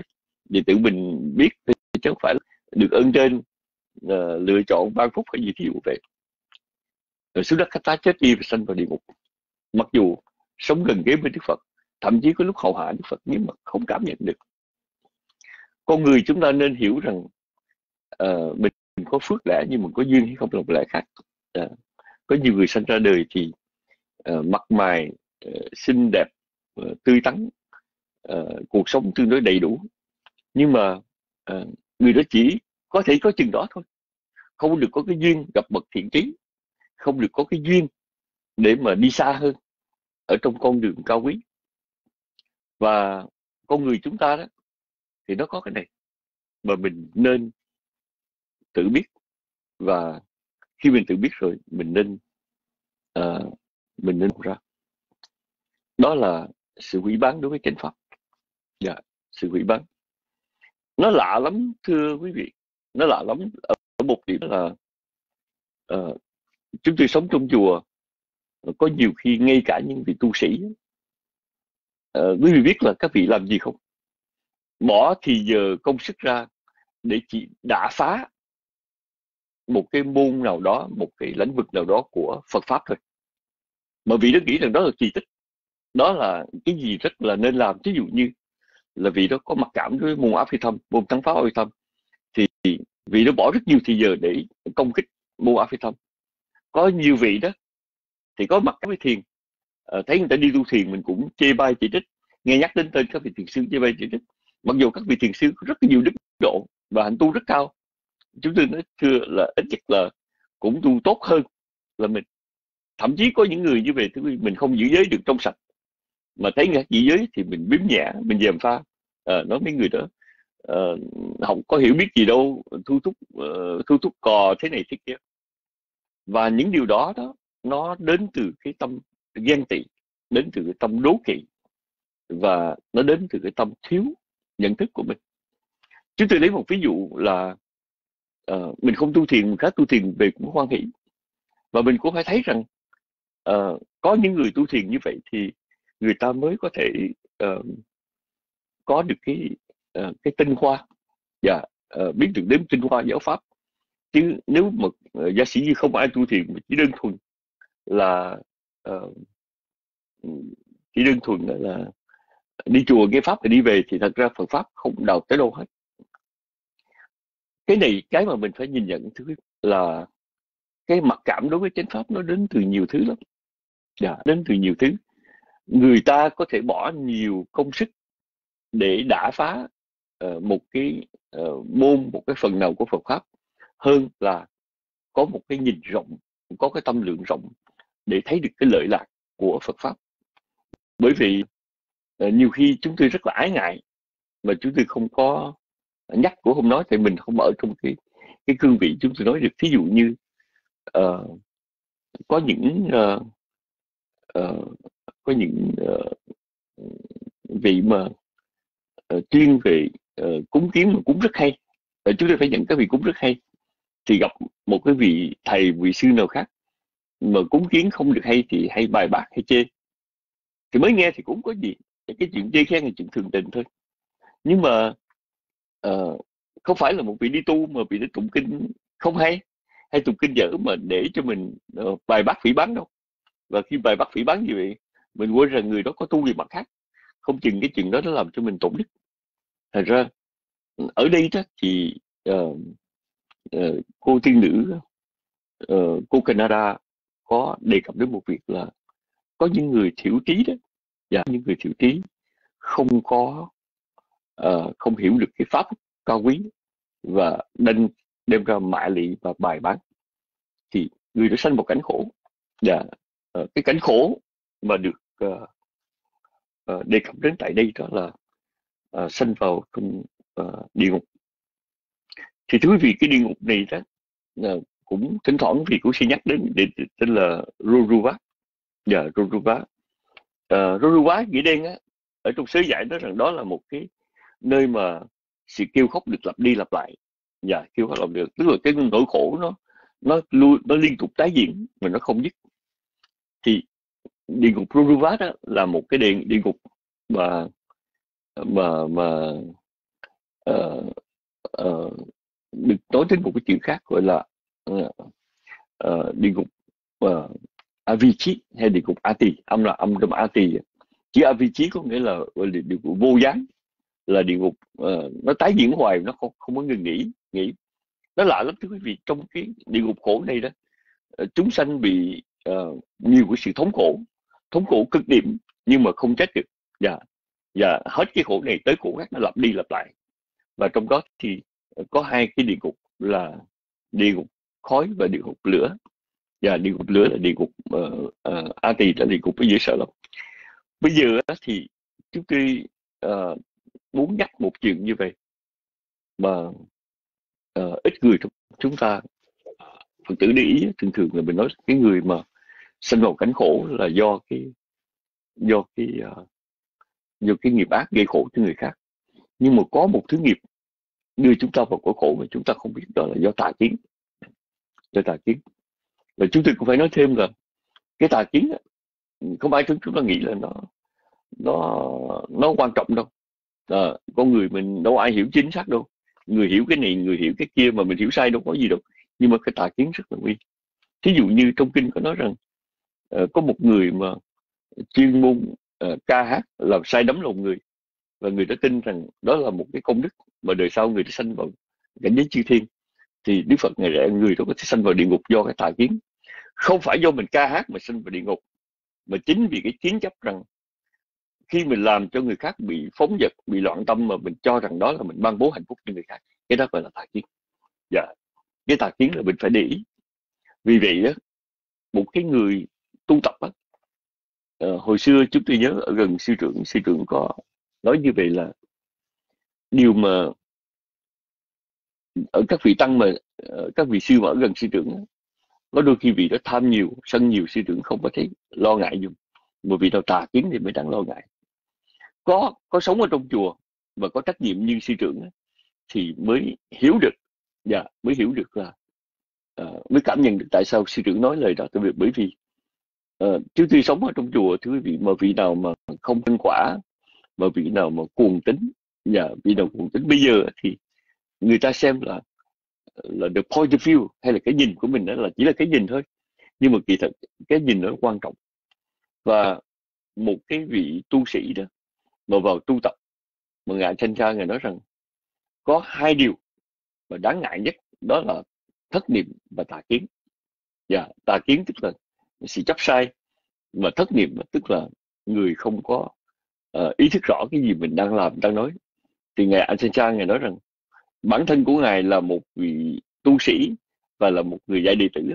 Thì ngài thấy rằng bất cứ một vị sư một cô tu nữ hay một phật tử nào mà vào chùa mà có hai thứ là sống bằng sự thất niệm sống bằng tà kiến là khó thiện lắm yeah. Cái này là cái mà chúng ta phải để ý rằng ra ở trong cái bài kinh này thì đặc biệt yeah, có nói đến cái uh, cái cái chuyện là một người mà thiểu trí hủy bán chánh pháp và người đã sanh vào trong cảnh khổ và sau cùng thì thưa quý vị ờ, ở đoạn cuối đó có nói lên một điểm mà chúng tôi có uh, biên soạn trong cái phần chú thích uh, gọi là thích nghĩa đó. Đó là một cái người mà thật sự học hiểu với chánh pháp đó, thì có hai thứ. Đó là cái sự an tịnh và yeah, an tịnh của nội tâm và cái sự chấp nhận chánh pháp. Và yeah. cái sự chấp nhận ở đây là dịch từ chữ khantiya. Chữ khanti thường thường đó là chúng ta nói là nhẫn nhục hay nhẫn nại thì đối với chánh pháp không phải là chúng ta không dịch là nhẫn nại được. Mà ở đây đó là trong sứ giải nói rằng đó là một thứ uh, nha hành thiêu tức là một thứ trí mà uh, chúng ta có thể chấp nhận. Ví dụ như là bây giờ uh, một khi mà chúng tôi uh, là một vị tu sĩ mà chúng tôi uh, khoan hỷ Phật pháp khoan hỷ sinh hoạt của chùa chiền thì uh, chúng tôi vào ở trong chùa uh, ngồi trang nghiêm ở trên chánh điện hay là ờ, được mời để tụng kinh hoặc giả là ờ, có những khóa tu chúng tôi hoàn toàn hoan hỷ được hoàn toàn tùy thuận hoàn toàn chấp nhận được. Nhưng mà một người mà không có cái tâm tùy thuận tùy hỷ đó uh, tùy thuận thì người đó cảm thấy cái gì cũng khó khăn hết. Và cái sự an tịnh ở đây uh, chỉ cho một cái sự uh, thanh thản uh, thoải mái đối với chánh pháp. Yeah. Một người mà uh, có cái niềm tin chân chánh, có cái trí tuệ chân chánh trong, đối với chánh pháp rồi đó, thì chánh pháp là giọt nước cam lồ à, chánh pháp là cái gì khóa giải những phiền não nội tại. Mà người nào mà không có chánh kiến, chánh tính thì chánh pháp là cái gì làm cho mình nóng nảy? Chánh pháp là cái gì làm cho mình khó chịu? Cũng cái bối cảnh đó, môi trường đó, mà có người khoan hỷ và người không khoan hỷ. Chúng tôi lấy ví dụ là những vị nào có đi hành thiền dường nhận ra rằng lần đầu tiên mình đến với trường thiền mình cảm thấy rằng mình bị áp lực về nhiều thứ. Một cái áp lực một cái căng thẳng đầu tiên mình có đó là do sự khác biệt giữa đời sống bình thường và đời sống trường thiền. Nhưng một khi mà mình đến trường thiền nhiều lần rồi đó mình biết được thì mình thấy rằng chính những cái kỹ cương chính những cái thanh quy chính cái lối sống trong trường thiền đó nó là một sự hỗ trợ để cho mỗi người sống không có uh, phiền nhiễu với nhau trợ duyên cho nhau. À, lấy một ví dụ như là một người không biết thì xem cái sự uh, im lặng uh, không được uh, tán gẫu trong trường thiền là một cái gì uh, rất là phiền. Uh, ai cũng muốn nói nói chuyện này chuyện kia bây giờ vô trong đó phải im lặng không có tán gẫu. Nhưng mà mình quên một điều rằng chính cái điều luật này nó giúp cho trường thiền được trang nghiêm được thanh tịnh. Và sự trang nghiêm thanh tịnh nó nó là một trợ duyên lớn cho các cái uh, thiền sinh để tham dự thì ở đây uh, thưa quý vị uh, trong cuộc sống này nó có nhiều trường hợp lắm. Thí dụ như là tình thương của bà, bà mẹ có đôi khi là một cái vị ngọt cho đứa con có hiếu đứa con thương mẹ. Nhưng tình thương của bà mẹ cũng có thể là một điều phiền toái cho đứa con muốn độc lập muốn tự do muốn một mình. Hay là uh, núi cao hồ rộng cả sĩ hữu tình có thể là là một cái nguồn cảm hứng lớn cho những người yêu thiên nhiên nhưng mà cũng có thể làm cho một cái người không yêu thiên nhiên cảm thấy sợ hãi sợ hãi với rừng sâu với biển cả vân vân. Thì chúng ta nên hiểu rằng những cái giá trị cao cả tốt đẹp ở đời không phải ai cũng cảm nhận giống nhau không phải ai cũng lãnh hội. Đó là những điều tốt đẹp. Mà trái lại đó có nhiều khi nó là thứ phản cảm nữa. Và chúng ta phải coi chừng những điều này. Yeah, chúng ta phải coi chừng. Nếu chúng ta may mắn thì chúng ta nghe pháp để chúng ta khoan hỷ mà chúng ta không may mắn á, thì khi mình nghe pháp mình cảm thấy nó cực, hình lấy ví dụ như là nhiều năm về trước á, ờ, chúng tôi có nhận một số phật tử quen ờ, nhận các số phật tử quen ở đó. Sư sư thỉnh thoảng sư cho ở trong lớp học có cái chương trình văn nghệ cho phật tử lên ngâm thơ hay là hát bài nhạc đạo nào đó cho thay đổi không khí. Thì chúng tôi cũng uh, trả lời rằng ở trong room thì chỉ có hai tiếng đồng hồ không có thời giờ nhiều. Không có những chương trình như vậy. Thì quý phật tử nó buồn nhưng mà cũng như phật tử đó vài ba năm sau thì phật tử mới nói rằng bây giờ vào trong room mà không có những cái lố nhố lăng nhăng không có văn nghệ văn gừng nữa thì mình thấy cái tập trung được hơn. Thành ra bây giờ mới thấy là uh, cái chương trình mình như vậy là thoải mái. Thành ra mỗi lúc thử việc mỗi lúc uh, mỗi uh, mỗi giai đoạn uh, chứ không phải là giống nhau. Nhưng mà nếu chúng ta có đủ cái uh, cái gọi là uh, đủ cái thiện duyên đủ cái điều phước báo đó thì chúng ta sẽ cảm nhận lãnh hội đối với chánh pháp, đối với những pháp cao quý bằng một thái độ nhẹ nhàng hơn, khoan hỷ hơn và lời lạc hơn. Thì đó là ý nghĩa của bài kinh nghị hôm nay. Bây giờ thì à, thưa quý vị, chúng tôi xin à, kết thúc à, bài giảng về kinh tương ưng trong ngày ở đây. Và tiếp theo thì chúng ta sẽ qua phần thảo luận quý vị cho chúng tôi xem về uh, ờ, bạch sư tọa tự sư thượng tọa có ở trong có còn ở trong uh, trong lớp không? Nếu sư tọa còn uh, thì xin thượng tọa khoan hỷ nói cho vài lời ở trong lúc sau các cô thảo luận. Thì thượng tọa cầm biết giúp cho.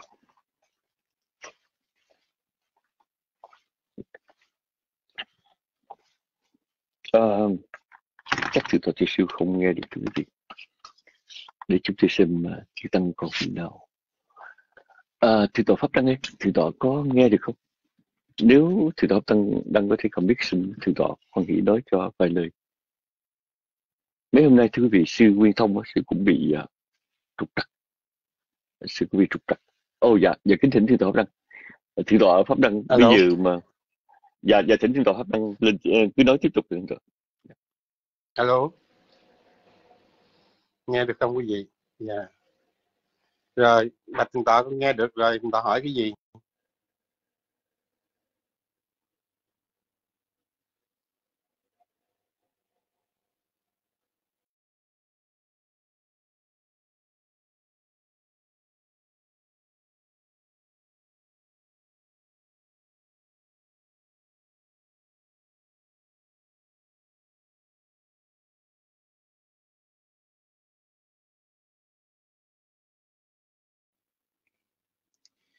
Yeah, alo.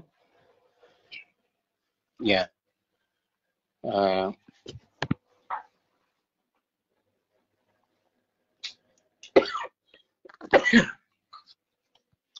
thì uh, hôm nay chúng ta cũng học uh, trong tương ưng bộ kinh uh, về uh, cái bài học này đó thì uh, cho chúng ta có một cái uh, một cái sự hiểu biết uh, tương đối cũng uh, thêm nói về cái vị ờ, cái vị ờ, cái vị chư thiên. Vị chư thiên này đó là ờ, làm mưa. Thì chúng ta thấy rằng đối với Đức Phật đó thì các cái cảnh giới tái sanh đó các cái cảnh giới tái sanh đó thì có có thấp có cao. À, thì chư thiên đó ở trong cõi dục đó thì có nam có nữ và à, những vị chư thiên nữ đó thì à, chúng ta thấy cũng rất là, là nhiều à, nhất là trong à, thiên cung sự. À, khi tôn giả một kiền liên mà lên cõi trời đau lợi hỏi các thiên nữ đó thì chúng ta thấy cũng rất là nhiều à, những vị chư thiên nữ. Và chúng ta cũng thấy được à, như cái câu chuyện mà Đức Phật ngày dẫn à, tôn giả Nanh Đà lên cõi trời. À, thấy các cái cõi à, trời các cái cung điện à, có nhiều cái cung điện thì có thiên nữ có thiên nam có những cái cung điện thì không có thiên nam. Và những cái mẫu chuyện đó đó để chúng ta thấy rằng à, trong cái sự tái sanh của nhân loại đó và chư thiên đó thì à, tùy theo à, cái sự sanh lên các cái cảnh giới cao thấp. Và trong cái cảnh cảnh giới cao thấp đó thì chúng ta biết rằng do một cái thiện nghiệp à, mà chúng ta cũng được nghe từ ngày một kiện liên đó à, ngày lên ngày hỏi những vị chư thiên. Thì những vị nó nói qua cái cái sở hành của mình đó có nghĩa là có nhiều vị đó là sanh lên cõi trời. Do gặp chư tăng đó, thì chấp tay đảnh lễ. À, có nhiều vị đó thì à, hơn cái những vị này đó Ờ, khi gặp ừ, mà chư tăng đảnh lễ rồi có nhiều vị thì đảnh lễ rồi à, kéo ghế mời ngồi. Cũng có nhiều vị hơn những cái vị này uh, về sanh phú thù thắng hơn đó. Khi hỏi ra thì những vị này nói rằng gặp chư tăng này kéo ghế mời ngồi dân nước rồi dân cơm. Ờ, và cũng có những vị á, thì nói rằng à, khi mà kéo nước uh, kéo, mời ngồi rồi à, dân nước dân cơm rồi uh, khi mà chưa tăng ăn cơm xong rồi nghe pháp. À, thì à, những cái vị đó sanh làm chư thiên có thấp có cao như vậy đó à, xuyên qua cái cái dung sắc của những vị đó. À, thường thường chúng ta biết những vị thiên hậu á à, là những vị mà cao nhất. Ừ, những vị thiên hậu là những vị cao nhất. Như vậy thường thường đó thì à, những cái thiện pháp mà chúng ta làm đó à, thì cho chúng ta sanh lên những cái cõi trời và thậm chí chúng ta sanh làm những vị thiên hậu. À, những cái vị chư thiên này nó có đắc chứng được đạo quả.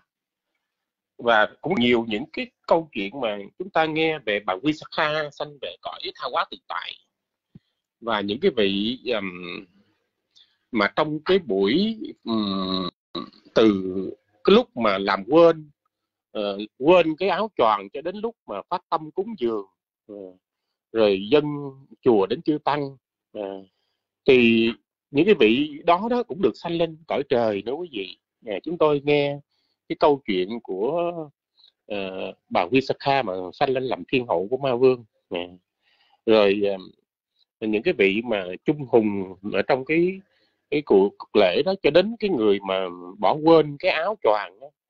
Uh, bà Visakha khi làm làm chùa xong cũng chia phước và vị này cũng sanh lên cõi trời đau lợi. Ừ.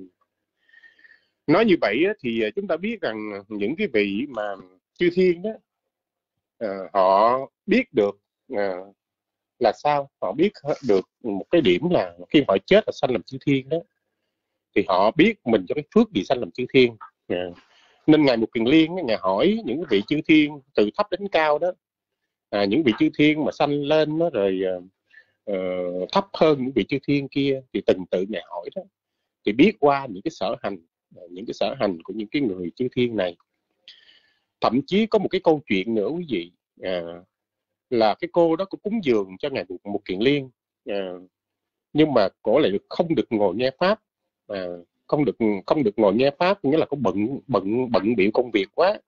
Nên à, cổ nói với ngài là bữa, bữa nay cổ chỉ lập phước cúng dường thôi và sau này cổ sanh lên làm chư thiên đó à, cổ nhớ lại thì cổ à, nói với một ngày buộc liên đó là cũng để nhắc lại với à, với với chúng sanh đó là nên bố thí cúng dường và nên nghe pháp. Vì cái sự nghe pháp đó nó có thể cho mình sanh lên làm vị chư thiên thù thắng hơn. À, như vậy thì chúng ta biết rằng à, thì ở trong đây đó thì vị um, chư thiên mà khi chết mà sanh lên cõi trời để họ biết họ do cái phước gì. Ờ, còn con người chúng ta thì chúng ta lại không biết cái gì ờ, chúng ta không có biết ví dụ mình sanh lên làm người đó ừ.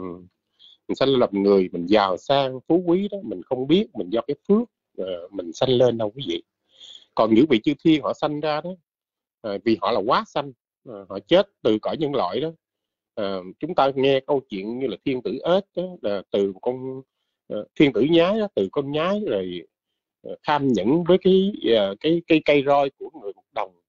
Ờ, tham nhẫn không la lên để tôn trọng pháp mà sanh lên làm vị chư thiên. Có tên là thiên tử ếch. Và vị đó biết rằng do một chút công đức là ở cái chỗ đức phật thuyết pháp mà tôn kính pháp, khi người một đồng cầm cái cây gậy đâm lên lưng mình và mình mình kham nhẫn chịu đựng mình quý kính pháp không làm ồn Ờ, để mọi người được nghe pháp mà do cái phước đó mà sanh làm chư thiên.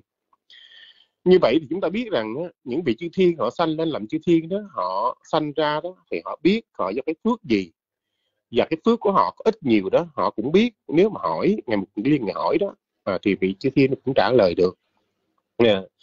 Như vậy thì ở trong cái ờ, cái câu chuyện của con gái ờ, Bách Thuyên Ná này đó à, tên là cô Na cô Ná Na Đa ờ, ờ,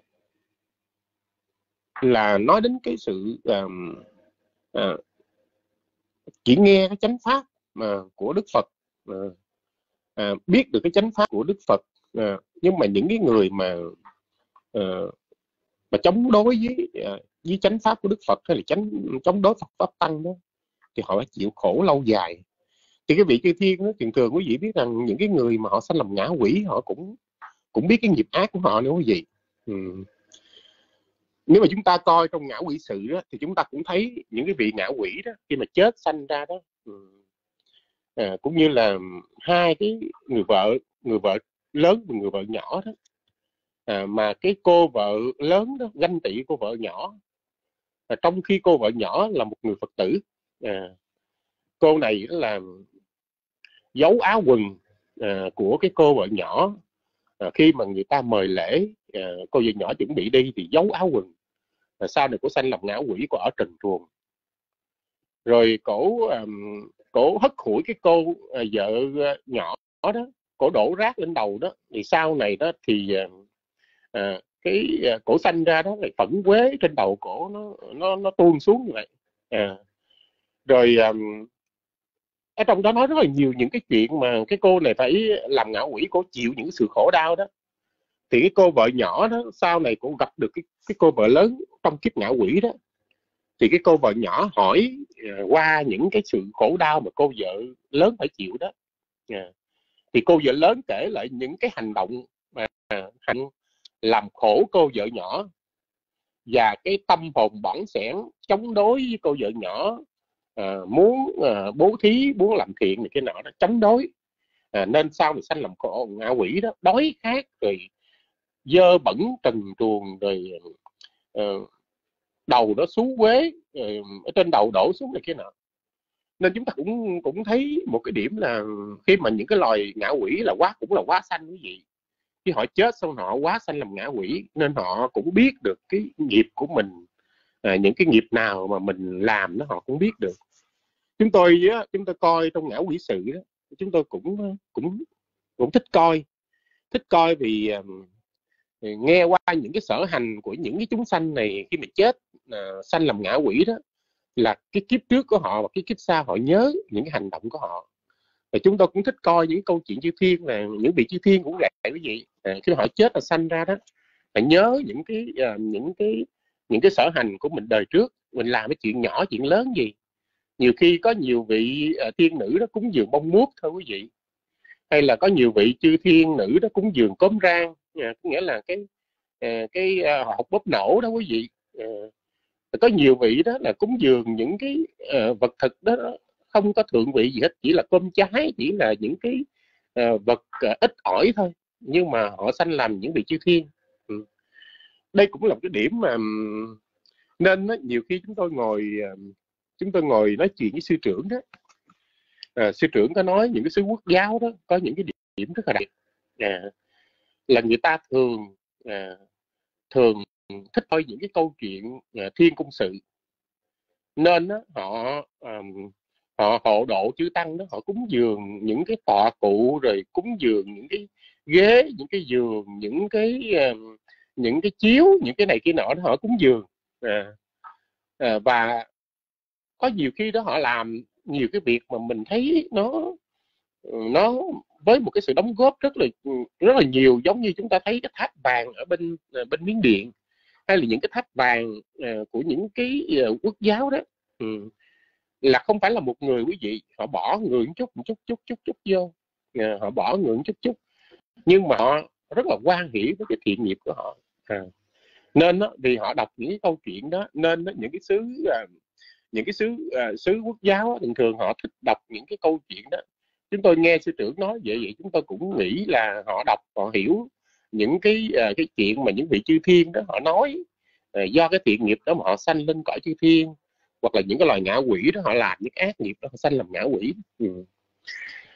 thì ở trong đây đó thì chúng ta thấy rằng à, cái vị um, chư thiên này nói rằng ai mà chống đối Phật pháp mà những cái người đó phải rơi vào địa ngục mà mà những ai mà không có trí tuệ đó là ờ, do họ chống bán chánh pháp mà họ mới phải sanh vào những cái cái cảnh giới địa ngục họ phải trải qua sự khổ đau lâu dài. Như vậy thì chúng ta thấy rằng ờ, bởi vì con người chúng ta đó quý vị thường biết là chúng ta dạy dỗ con cái chúng ta đó cũng rất là khó à, rất là khó. À, tại vì con cái chúng ta sanh ra đó sanh qua thai sanh và bản thân chúng ta cũng sanh qua thai sanh nên chúng ta không nhớ được đời trước. Nếu mà chúng ta nhớ được đời trước như chư thiên có lẽ là chúng ta cũng tiến bộ. À, vì chúng ta biết là do cái phước đó.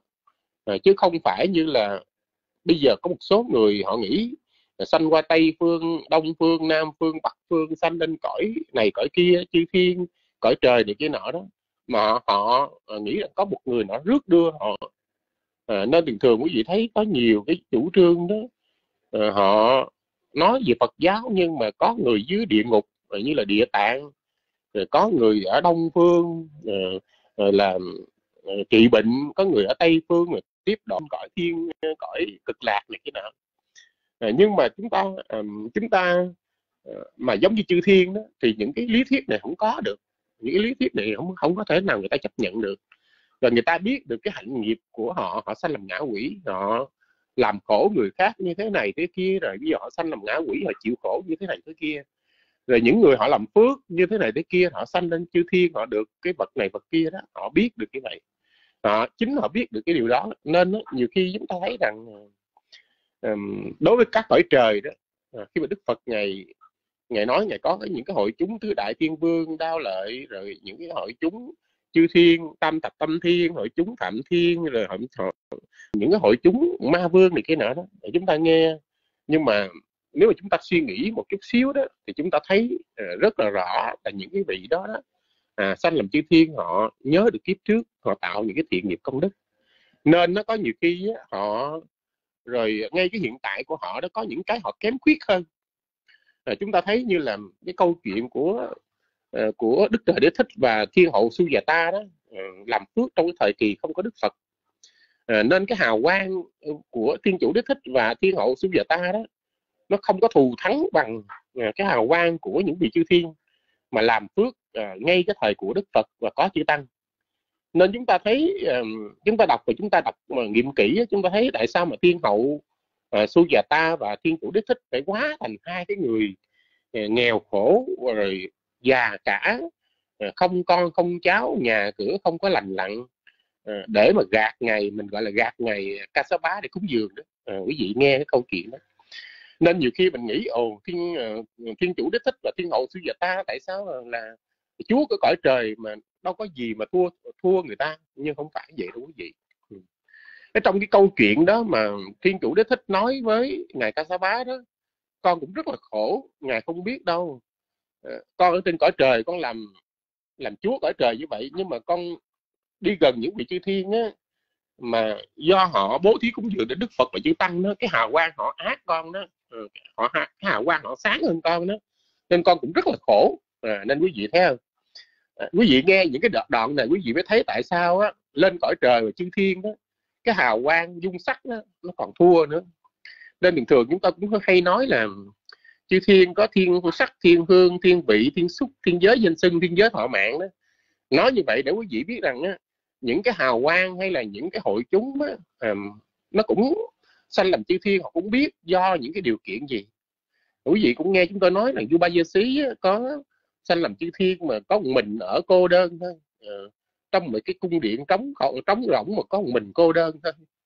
À, nên đó vua Ba Gia Xí mới nói với vị thánh tăng đó nó về ờ, lại nói gì là nói lại với dân loại đó đừng có bố thí cúng dường như vua Ba Gia Xí có nghĩa là bố thí cúng dường nhé ờ, mà cái đồ không có ăn không có xài rồi không có thích đó.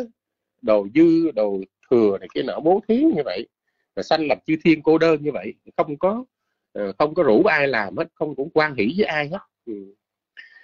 thì đây là những cái điểm mà ừ, nhân cái bài học hôm nay đó thì uh, nói để cho đừng thoại đẳng chọn cái câu thảo luận. Thành ra chúng tôi cũng ờ, muốn nói như vậy để quý vị thấy và quý vị có sự suy tư. Nên nhiều khi mình niệm chư thiên đó quý vị. À, nếu mà dự niệm phật niệm pháp niệm tăng niệm thí niệm giới niệm thiên thì cũng có nhiều cái điều để cho mình suy nghĩ lắm quý vị. À, nếu mà niệm chư thiên nó cũng có nhiều điều cho mình suy nghĩ. Chư thiên nó cũng có à, cái sự khác biệt à, trong cái phước báo công đức của chư thiên. Rồi chư thiên á, có nghe pháp thì chứng được đạo quả gọi là thanh tịnh chư thiên. À, còn chư thiên sanh trong thời kỳ của đức phật á, à, thì thù thắng hơn những vị chư thiên mà sanh à, trong cái thời kỳ không có chánh pháp. Nên chúng ta thấy rằng những cái vị chư thiên đó, đó uh, cũng muốn nghe và nhất là cái phẩm uh, kinh tương ưng có cái phẩm chư thiên đó thì chúng ta thấy rất là nhiều những vị họ xuống uh, họ gặp đức phật để họ hỏi đức phật rồi họ tu tập á hay là họ bố thí cúng dường họ làm những cái việc thiện nhiều công đức. Mà nhiều khi chúng ta ít nghe đó ví dụ chúng ta nghe ngày bắt cu lá đó rồi ngày ăn cơm nhân loại chỉ có 7 ngày tới ngày thứ 8 là ngày ăn cơm của chư thiên ngày nhận y của chư thiên. Yeah. và chúng ta cũng nghe rất là nhiều những vị thị khu đó là họ nhận vật thực của chư thiên cũng cũng có chứ không phải là không. À, như vậy thì chúng ta thấy rằng những vị chư thiên đó chúng ta cứ nghĩ rằng nhiều khi vị chư thiên họ không có làm phước không phải vậy đâu tại vì ờ, họ mà thấy cái dung sắc họ thua đó thì họ cũng uh, coi cái điều kiện như thế nào rồi họ cố gắng họ uh, làm phước như là thiên chủ đế thích và thiên hậu sư già ta đó. Chúng ta nghe những cái câu chuyện đó thì chúng ta đem cái tâm mình để mình suy nghĩ đó. Chúng ta cũng thấy được rất là nhiều cái điểm lợi ích từ cái cái phước báo công đức và cái cái sự tích lũy thiện nghiệp của chúng ta. Nếu mà chúng ta uh, Ờ, có cái tâm cầu tiến có cái sự hướng thượng thì chúng ta cũng thấy được những cái điểm này. Và chúng ta khi mà nghe đến địa ngục đó, thì chúng ta cũng biết địa ngục nó có nhiều cái tầng địa ngục. Ờ, như là câu chuyện của ờ, tỳ khu cô ca lý cá đó, sanh vào địa ngục sen hồng đó. Thì từ địa ngục mà từng tầng từng tầng như vậy đó tới cái địa ngục sen hồng của cô lý cá đó là một cái địa ngục mà xuống từng sâu như vậy đó. À, thì cái cái khổ đau ở địa ngục nó cũng lâu dài nữa quý vị. À, trong kinh mà chúng ta còn nhớ là cái ví dụ đó giống như một cái xe bò mà chở uh, chở uh, một uh, 10 bao hạt mè. À, mà mấy quý vị biết hạt mè thì nó nhỏ nhỏ gì hay là mình nói một bao hạt mè đi. À, mình đếm cái hạt mè không mình cũng thấy kinh khủng rồi. À, cái địa ngục mà dưới nữa đó gấp 10 lần à, gấp 10 lần cái địa ngục à, tầng trên nhất. Để cái tầng dưới nữa đó thì gấp 10 lần cái địa ngục kế kế. Có nghĩa là gấp à, gấp 100 lần cái địa ngục ấy quý vị thấy quý vị thấy ghê không? Ừ. bởi vậy trong à, cái trong cái bài kinh mà à, Đức Phật này nói về cô ca lý cá thì chư tăng hỏi đó à, thì cái địa ngục à, cô ca lý cá là cái địa ngục sen hồng đó. Nó tới thứ 8 thứ 9 thì chúng tôi nhớ là thứ 8 thứ 9 gì. À như vậy một cái tầng địa ngục đó, mà Đức Phật lại nói rằng cái khổ uh, gấp 10 lần à, rồi cái cái địa ngục dưới nữa đó thì nó khổ gấp 10 lần cái địa ngục kế. À, và cái địa ngục dưới nữa nó khổ gấp 10 lần cái địa, địa ngục kế cái địa ngục đó.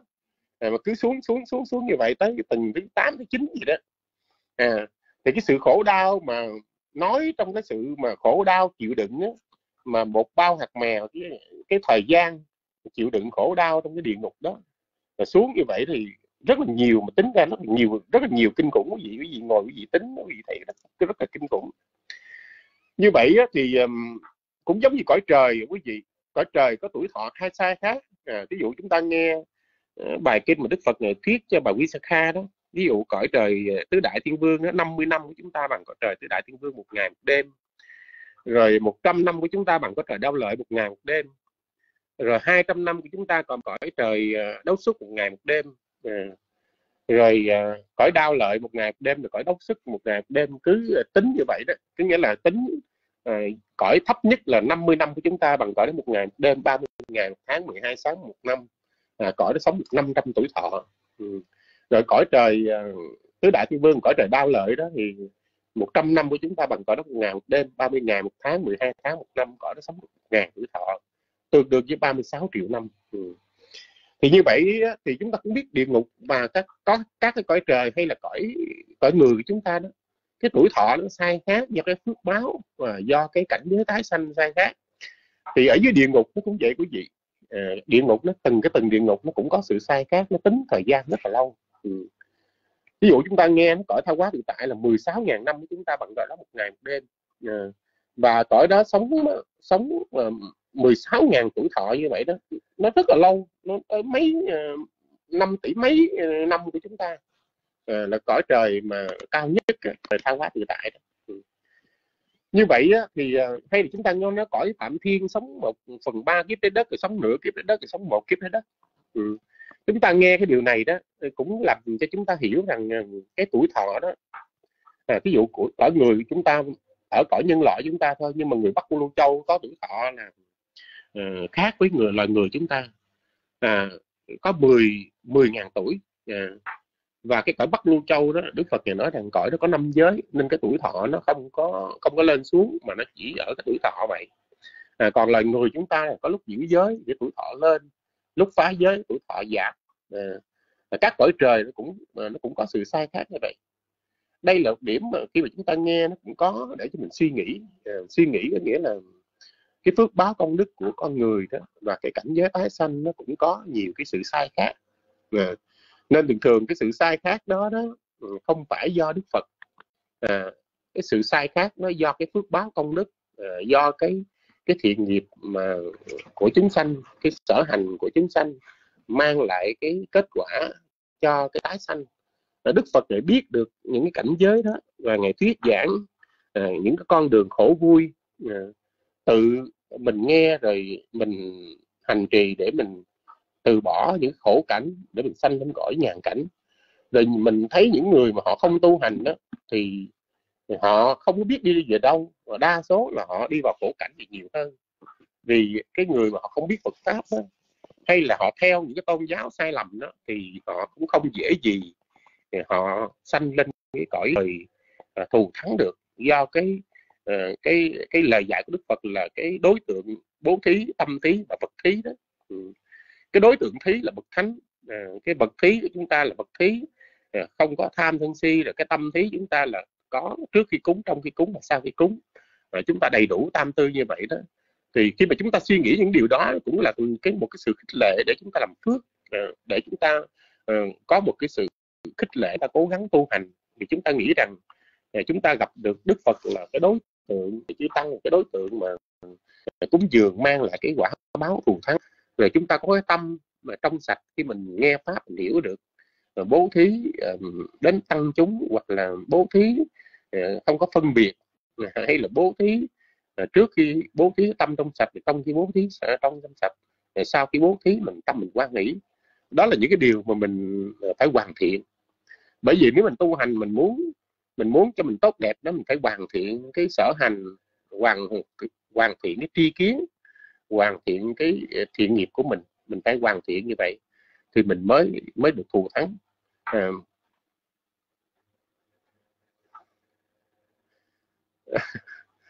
à, không biết đã. không biết bây giờ bây giờ có không biết thì thoại nhất đẳng thôi bây giờ con cả biết với từng đại đẳng chứ giờ chút tới hồi nó gần hết giờ. Con thấy đại đẳng nó hết câu câu.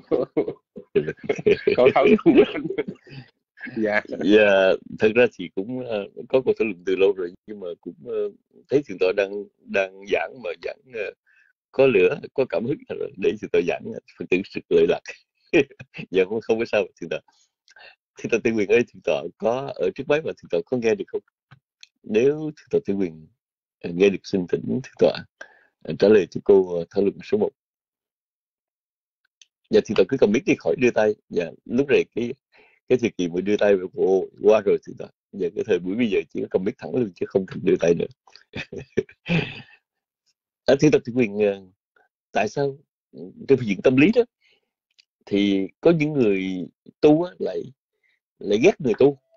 Dạ ghét người tu hơn là ghét những cái chuyện mà đáng ghét ở bên ngoài.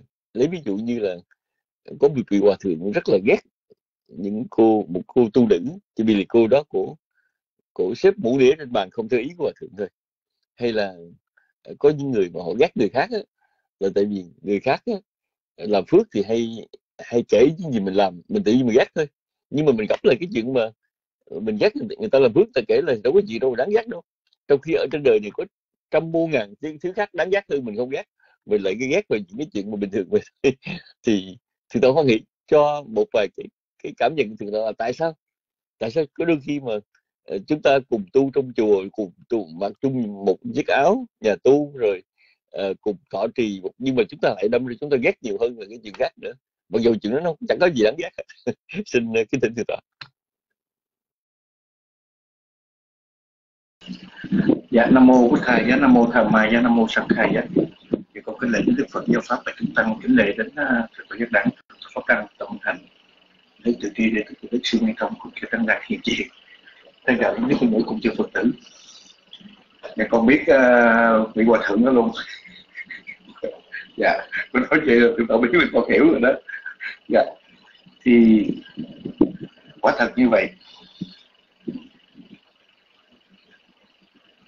Cái mà chúng ta thường gọi là cái giá trị của đồng loại đó. Ở đây nó cũng có hai. Cái đồng loại này nó bằng cái ái chấp. Cái đồng loại này hiểu biết trên cái cái đồng kiến trên cái ý niệm. Mình là người tu mà không biết thương người tu, thương ai bây giờ?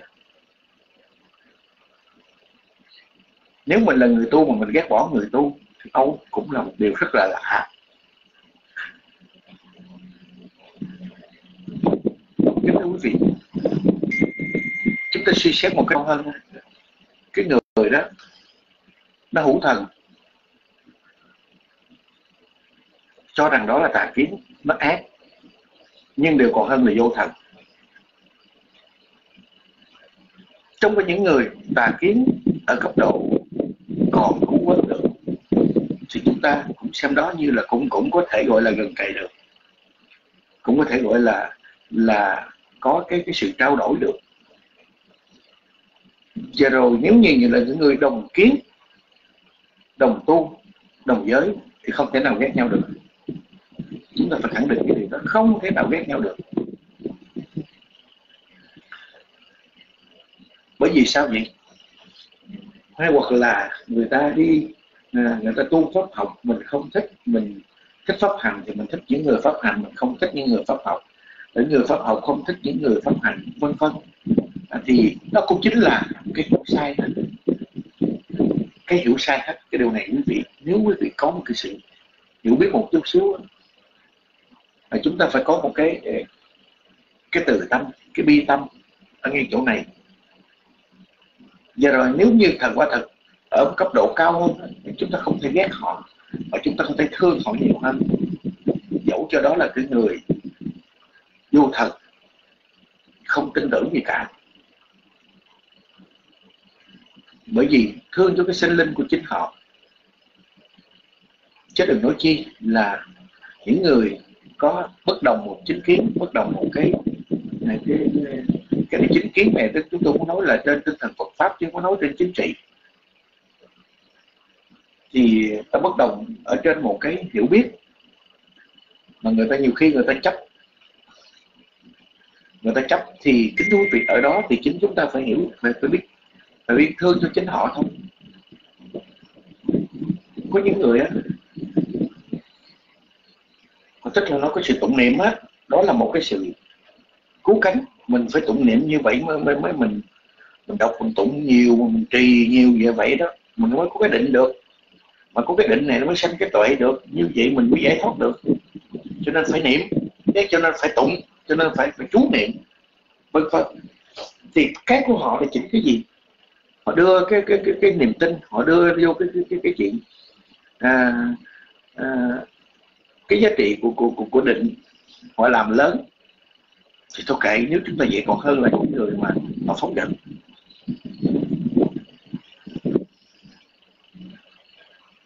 có nhiều khi á kính thưa quý vị để mà gọi là niệm đúng trên tinh thần lời Phật dạy nó mang tính kinh điển.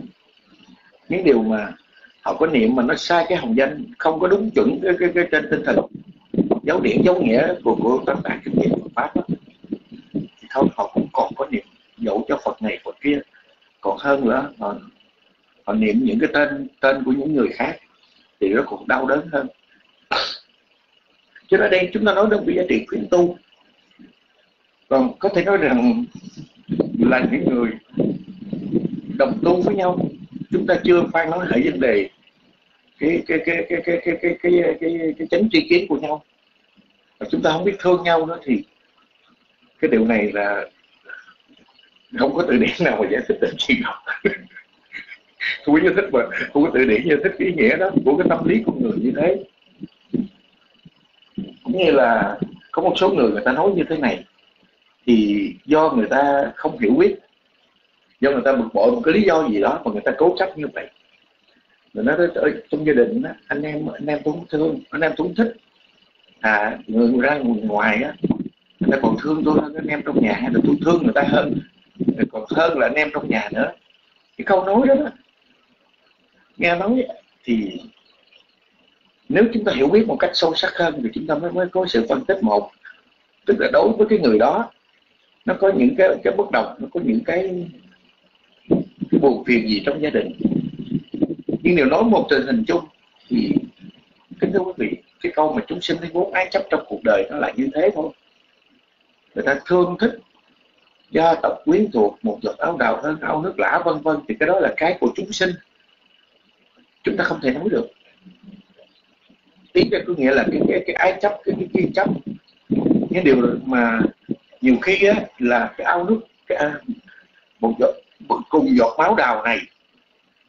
Nhưng điều mà có đôi khi xử với nhau quả thật nó còn hơn là cái người người chúng ta gọi là người dân nước lã bên ngoài. Những điều mà người ta cũng xử tốt hơn mình như mình. Nó cũng có những cái nghịch lý hết trơn.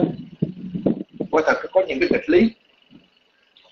Thì những cái nghịch lý đó đó cho nên nó mang những tâm tư Ờ, cái cái, cái ý, ờ, ý niệm sống khác nhau nhưng là một ý niệm sống của một người tu hành đó hay là một người hiểu biết Phật pháp mà chúng ta biết là chúng ta phải trang hòa ở trong cuộc sống. Dẫu cho nó có có, có thể hiện ở khắp nơi nó có những sự dị biệt như thế này như thế nọ nhưng chúng ta hãy tập sống tốt với mọi người mà, mà mặc dù họ không tốt với mình.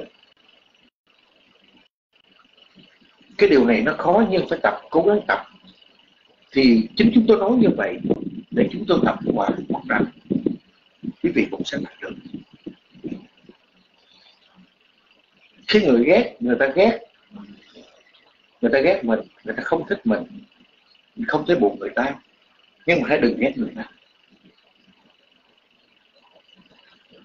Nếu như người ta không thích mình, không ghét mình rồi thì rất là tùy họ như lòng của chúng ta đó đừng có câu thúc cái chuyện đó chứ không phải coi như là nước sông không xâm phạm nước giếng sông phạm sẽ trả lại gấp đôi. Nghe tôi đâu có cần.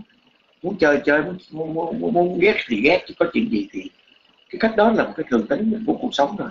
Nó xảy ra trong xã hội nhiều.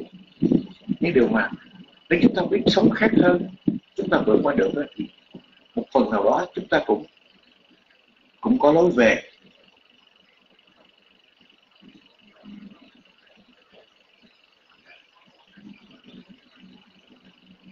Chúng ta không được tính của vị Bồ Tát cao cả. Nhưng chúng ta phải tập cũng là những những những tâm hồn Bồ Tát rất nhiều. Biết cảm cái đau, cảm cái khổ, cảm cái cái khiếm khuyết của người. Ở đây chúng ta muốn nói khiếm khuyết về về cái cái ý niệm, cái tri thức, cái sự suy nghĩ. Khiếm khuyết về cái cái tính vị tha khiếm khuyết về cái tính của của đồng tu, của đồng sự. Thì chúng ta sẽ được an lạc. Chúng ta hiểu biết thương họ chút xíu. Thì quả thật tu nó là một cuộc sống này. Nó lạ lắm. Mà đời sống, tu nó là lạ. Còn đời sống ở cuộc sống xã hội, nó lại còn càng nhiều lạ hơn nữa. Nói chung tất cả trong cuộc đời này, chúng sinh còn phạm phu sống trong cuộc đời thì người ta nói chín người, mười ý phải là mười với chín người. Cả trăm, cả ngàn ý, chứ không phải là chín người, mười ý, mà cả trăm, cả ngàn ý. Tại vì một ý của họ vậy, và bắt đầu họ đẻ nó tiếp tục nữa, nhiều nhiều ý nữa. Nó rất là nhiều, nó rất là lẹ mà nó sản sinh ra như là covid vậy đó. Nó lây nó lây dây chuyền như covid cái đó, vậy đó. Thì cái tâm tư của người nó vậy đó. Nó chấp từ cái này, nó ái liên từ cái kia, đủ thứ, đủ chuyện, nó nó chìm nhỏ xé ra to. Rồi không biết hiểu biết gì hết chưa nói nữa. Rồi nếu như người đó à, có tiền của một chút xíu người đó có cái địa vị một chút xíu thì lấy trên cái địa vị đó mới đàn áp người. Nếu mà tu thì lấy trên một cái năm tháng tu hành của mình đó, mới, mới, mới áp đặt xuống thì quả thật rất là đau lòng. Rất là đau lòng. Những điều mà cái của họ là vậy đó mà nói như vậy là đúng. Còn những người khác là không đúng. Họ nói họ ghét. Ừ, họ ghét ờ, tôi ghét vậy đó kệ tôi. Nói như vậy mới được nhưng điều mà họ chấp nhận được thì sao? À, thì thưa quý vị thấy nhiều nhiều cái đó. Phải nói là ở đây phải nói là cái phương diện tâm lý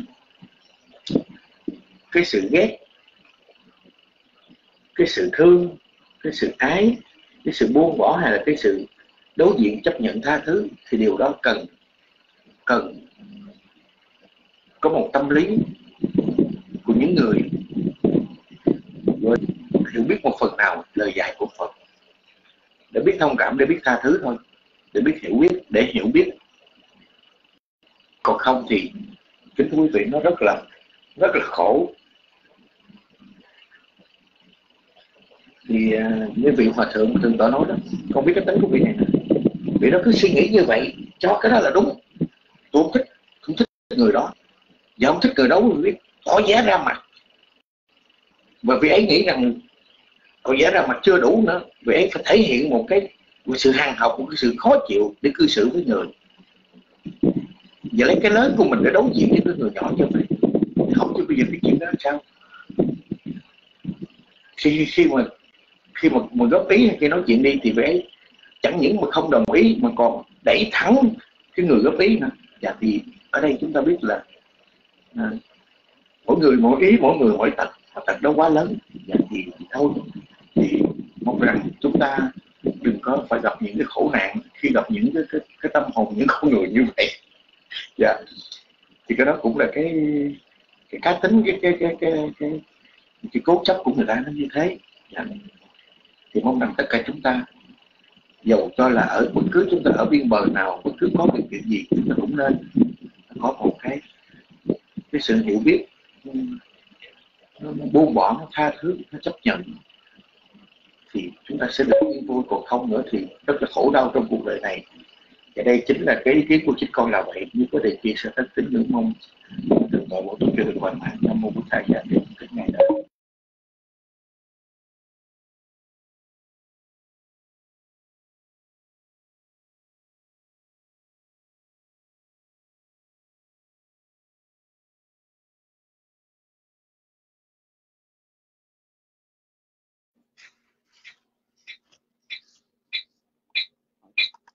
Uh, sa thú kính trân thưa Thượng Quý. Quyền. Thưa quý Phật tử, à, ờ. câu hỏi sư Nguyên Thông là sư Nguyên Thông có nghe được không? Nếu sư Nguyên Thông ờ, chưa nghe được xin để đức từ tri khoan hỷ Sau giờ học giúp cho sư Nguyên Thông mấy hôm nay ờ, à, sư Nguyên Thông không hiểu sao không có cầm mic được À, không cầm mic được nghe được không cầm mic được sư Nguyên Thông thử cầm mic coi có nói được không sư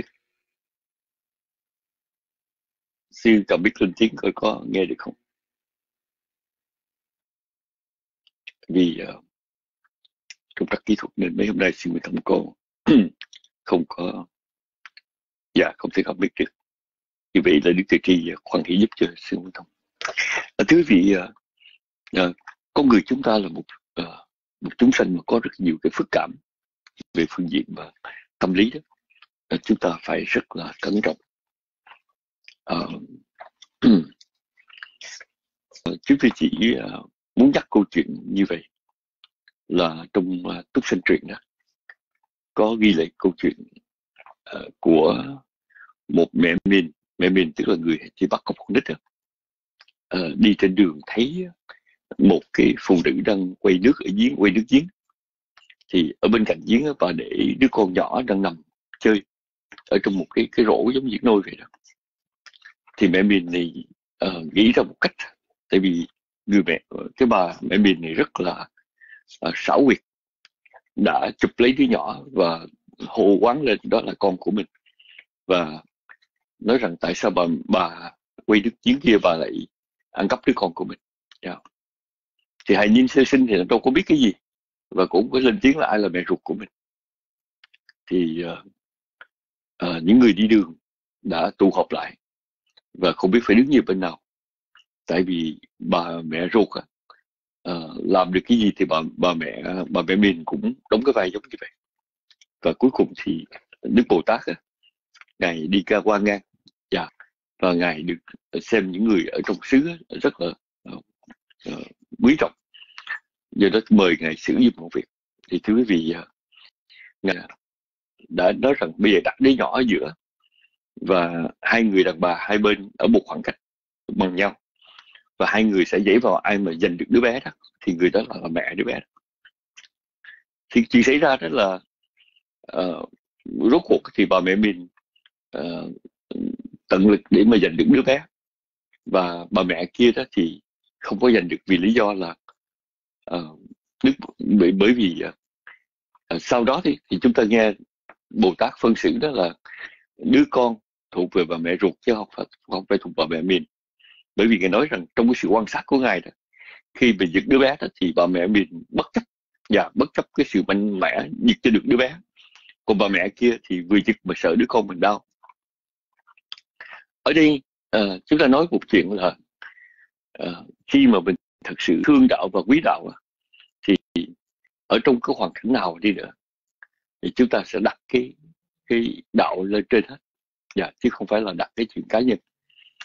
Ở chùa Pháp Luân mới có một Phật tử ờ, mãn Phật tức là cô Từ Thuận.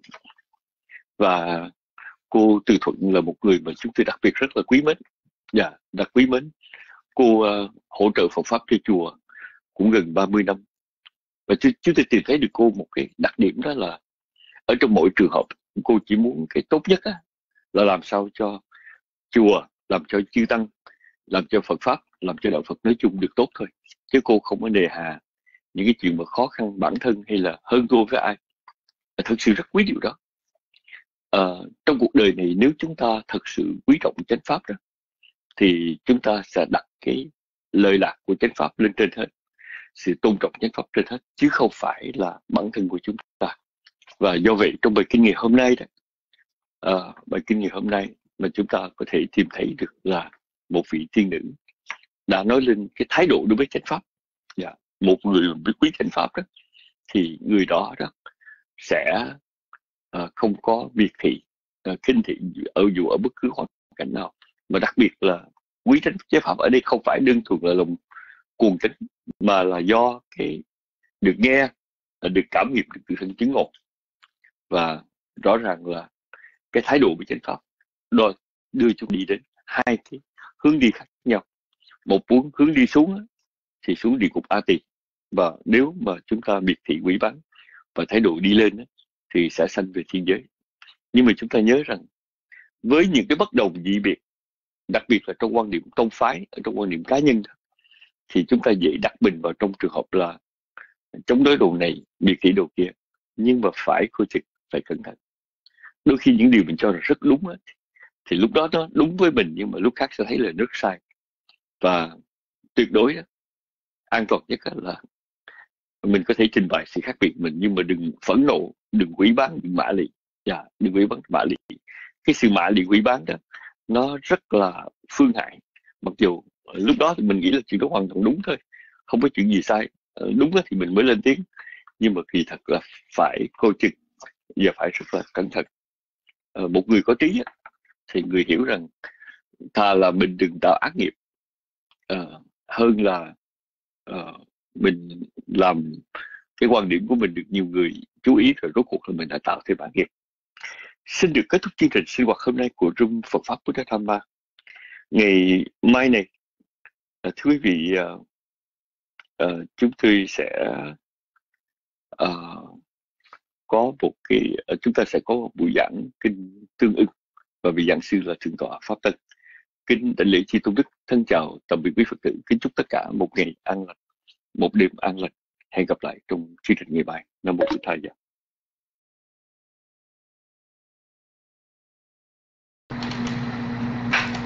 sa thú sa thú lành thai. Con nhật huỳnh xin thay mặt đại chúng tông rung. Chúng con kính tri ân chư tôn đức đã mở lòng vi mẫn giảng dạy những giáo nghĩa vi diệu của đức phật để toàn thể chúng con được lắng nghe, ghi nhớ và hành trình trong tuân kỷ không làm các ác nghiệp, hưng tu các hạnh lành, thanh tịnh hóa tâm ý như lời chư Phật dạy. Dạ cảm ơn Hoa Nguyệt. Kính cảm ơn đại chúng lắng tâm thanh tịnh thính pháp. Kính cảm ơn quý ớt đã yểm trợ cho các phần hành trong lớp học được hoàn tất mỹ mãn chúng con kính chúc chư tôn đức và quý đạo hữu luôn an lạc các